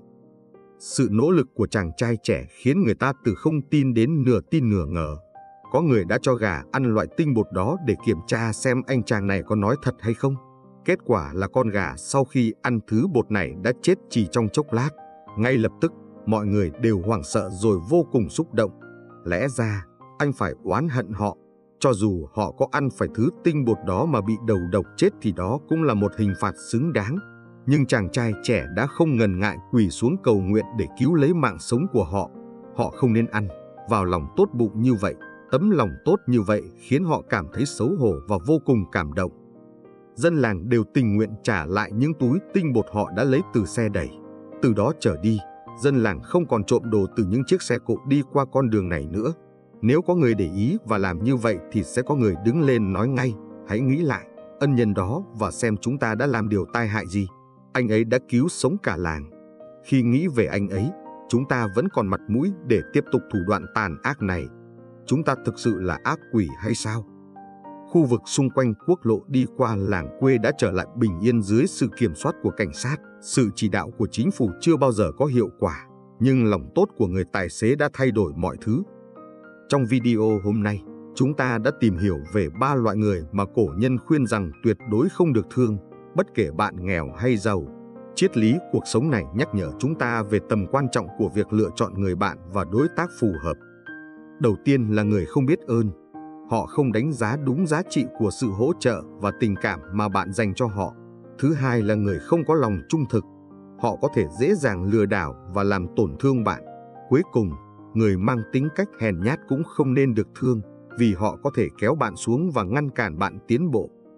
Hãy nhớ, để duy trì một cuộc sống bình yên và hạnh phúc, chúng ta cần phải khôn ngoan trong việc lựa chọn bạn bè và đối tác, tránh xa những loại người đã đề cập và tìm kiếm những người có lòng biết ơn trung thực và có tính cách mạnh mẽ. Nếu bạn thấy video này mang lại giá trị và ý nghĩa cho cuộc sống của bạn, đừng ngần ngại chia sẻ nó với bạn bè và người thân. Đồng thời, đừng quên nhấn nút đăng ký và chuông thông báo để không bỏ lỡ bất kỳ video nào từ kênh của chúng tôi trong tương lai.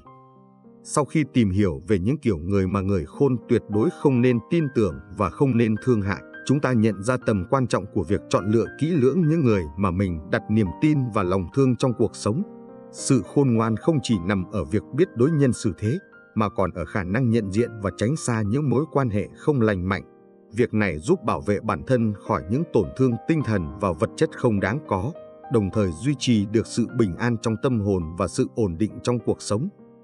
Trước hết, những người giả dối và hay thay đổi là những kiểu người mà bạn không nên tin tưởng. Họ có thể tỏ ra thân thiện và đáng tin trong một lúc, nhưng ngay sau đó lại phản bội lòng tin của bạn Việc đặt niềm tin vào những người này sẽ khiến bạn luôn sống trong sự bất an và dễ bị tổn thương. Sự không ổn định trong lời nói và hành động của họ sẽ khiến bạn mất đi niềm tin vào con người và ảnh hưởng tiêu cực đến các mối quan hệ khác. Tiếp theo, Những người ích kỷ và chỉ nghĩ đến lợi ích cá nhân cũng không xứng đáng với sự tin tưởng của bạn. Họ không quan tâm đến cảm xúc và nhu cầu của người khác và sẵn sàng làm mọi điều để đạt được mục đích của riêng mình. Sự ích kỷ của họ không chỉ làm bạn cảm thấy bị lợi dụng mà còn gây ra những tổn thương tinh thần nghiêm trọng. Hãy nhớ rằng một mối quan hệ lành mạnh là khi cả hai bên đều biết quan tâm và hỗ trợ lẫn nhau, không phải chỉ là sự lợi dụng một chiều. Ngoài ra, những người hay ganh tị và đố kỵ cũng không nên được tin tưởng. Họ không bao giờ hài lòng với thành công của người khác và luôn tìm cách kéo người khác xuống để thỏa mãn sự ganh ghét của mình. Tin tưởng vào những người này có thể khiến bạn trở thành mục tiêu của sự đố kỵ và bị họ sử dụng những chiêu trò bẩn thỉu để làm giảm giá trị của bạn. Sự ganh tị và đố kỵ không chỉ phá hoại mối quan hệ, mà còn làm xói mòn lòng tự trọng và niềm tin của bạn vào bản thân. Bên cạnh đó, những người không giữ lời hứa và thường xuyên thất hứa cũng không đáng để bạn tin tưởng. Họ có thể hứa hẹn giúp đỡ và hỗ trợ bạn trong những lúc khó khăn, nhưng cuối cùng lại bỏ rơi bạn vào những thời điểm cần thiết nhất. Sự không đáng tin cậy của họ sẽ khiến bạn mất lòng tin và cảm thấy bị phản bội. Một mối quan hệ tốt đẹp được xây dựng trên nền tảng của sự tin tưởng và giữ lời hứa, và việc thất hứa sẽ làm lung lay nền tảng đó. Cuối cùng, những người luôn lợi dụng lòng tốt của người khác không xứng đáng với sự thương hại của bạn. Những người này thường tỏ ra yếu đuối và cần sự giúp đỡ, nhưng thực chất họ chỉ muốn lợi dụng lòng tốt và sự thương hại của bạn để đạt được lợi ích cá nhân. Việc giúp đỡ và thương hại những người này không chỉ không mang lại kết quả tích cực, mà còn có thể khiến bạn bị lợi dụng và tổn thương. Hãy dành lòng tốt và sự thương hại của mình cho những người thực sự cần và xứng đáng. Việc nhận diện và tránh xa những kiểu người không đáng tin cậy và không nên thương hại là điều vô cùng quan trọng để bảo vệ bản thân và duy trì sự bình an trong tâm hồn.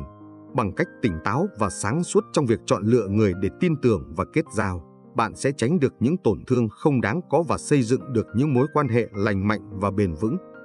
Chúc bạn luôn tìm được những người bạn đáng tin cậy và tránh xa những mối nguy hiểm, tiềm ẩn trong cuộc sống hàng ngày để có thể sống một cuộc đời an lành và hạnh phúc.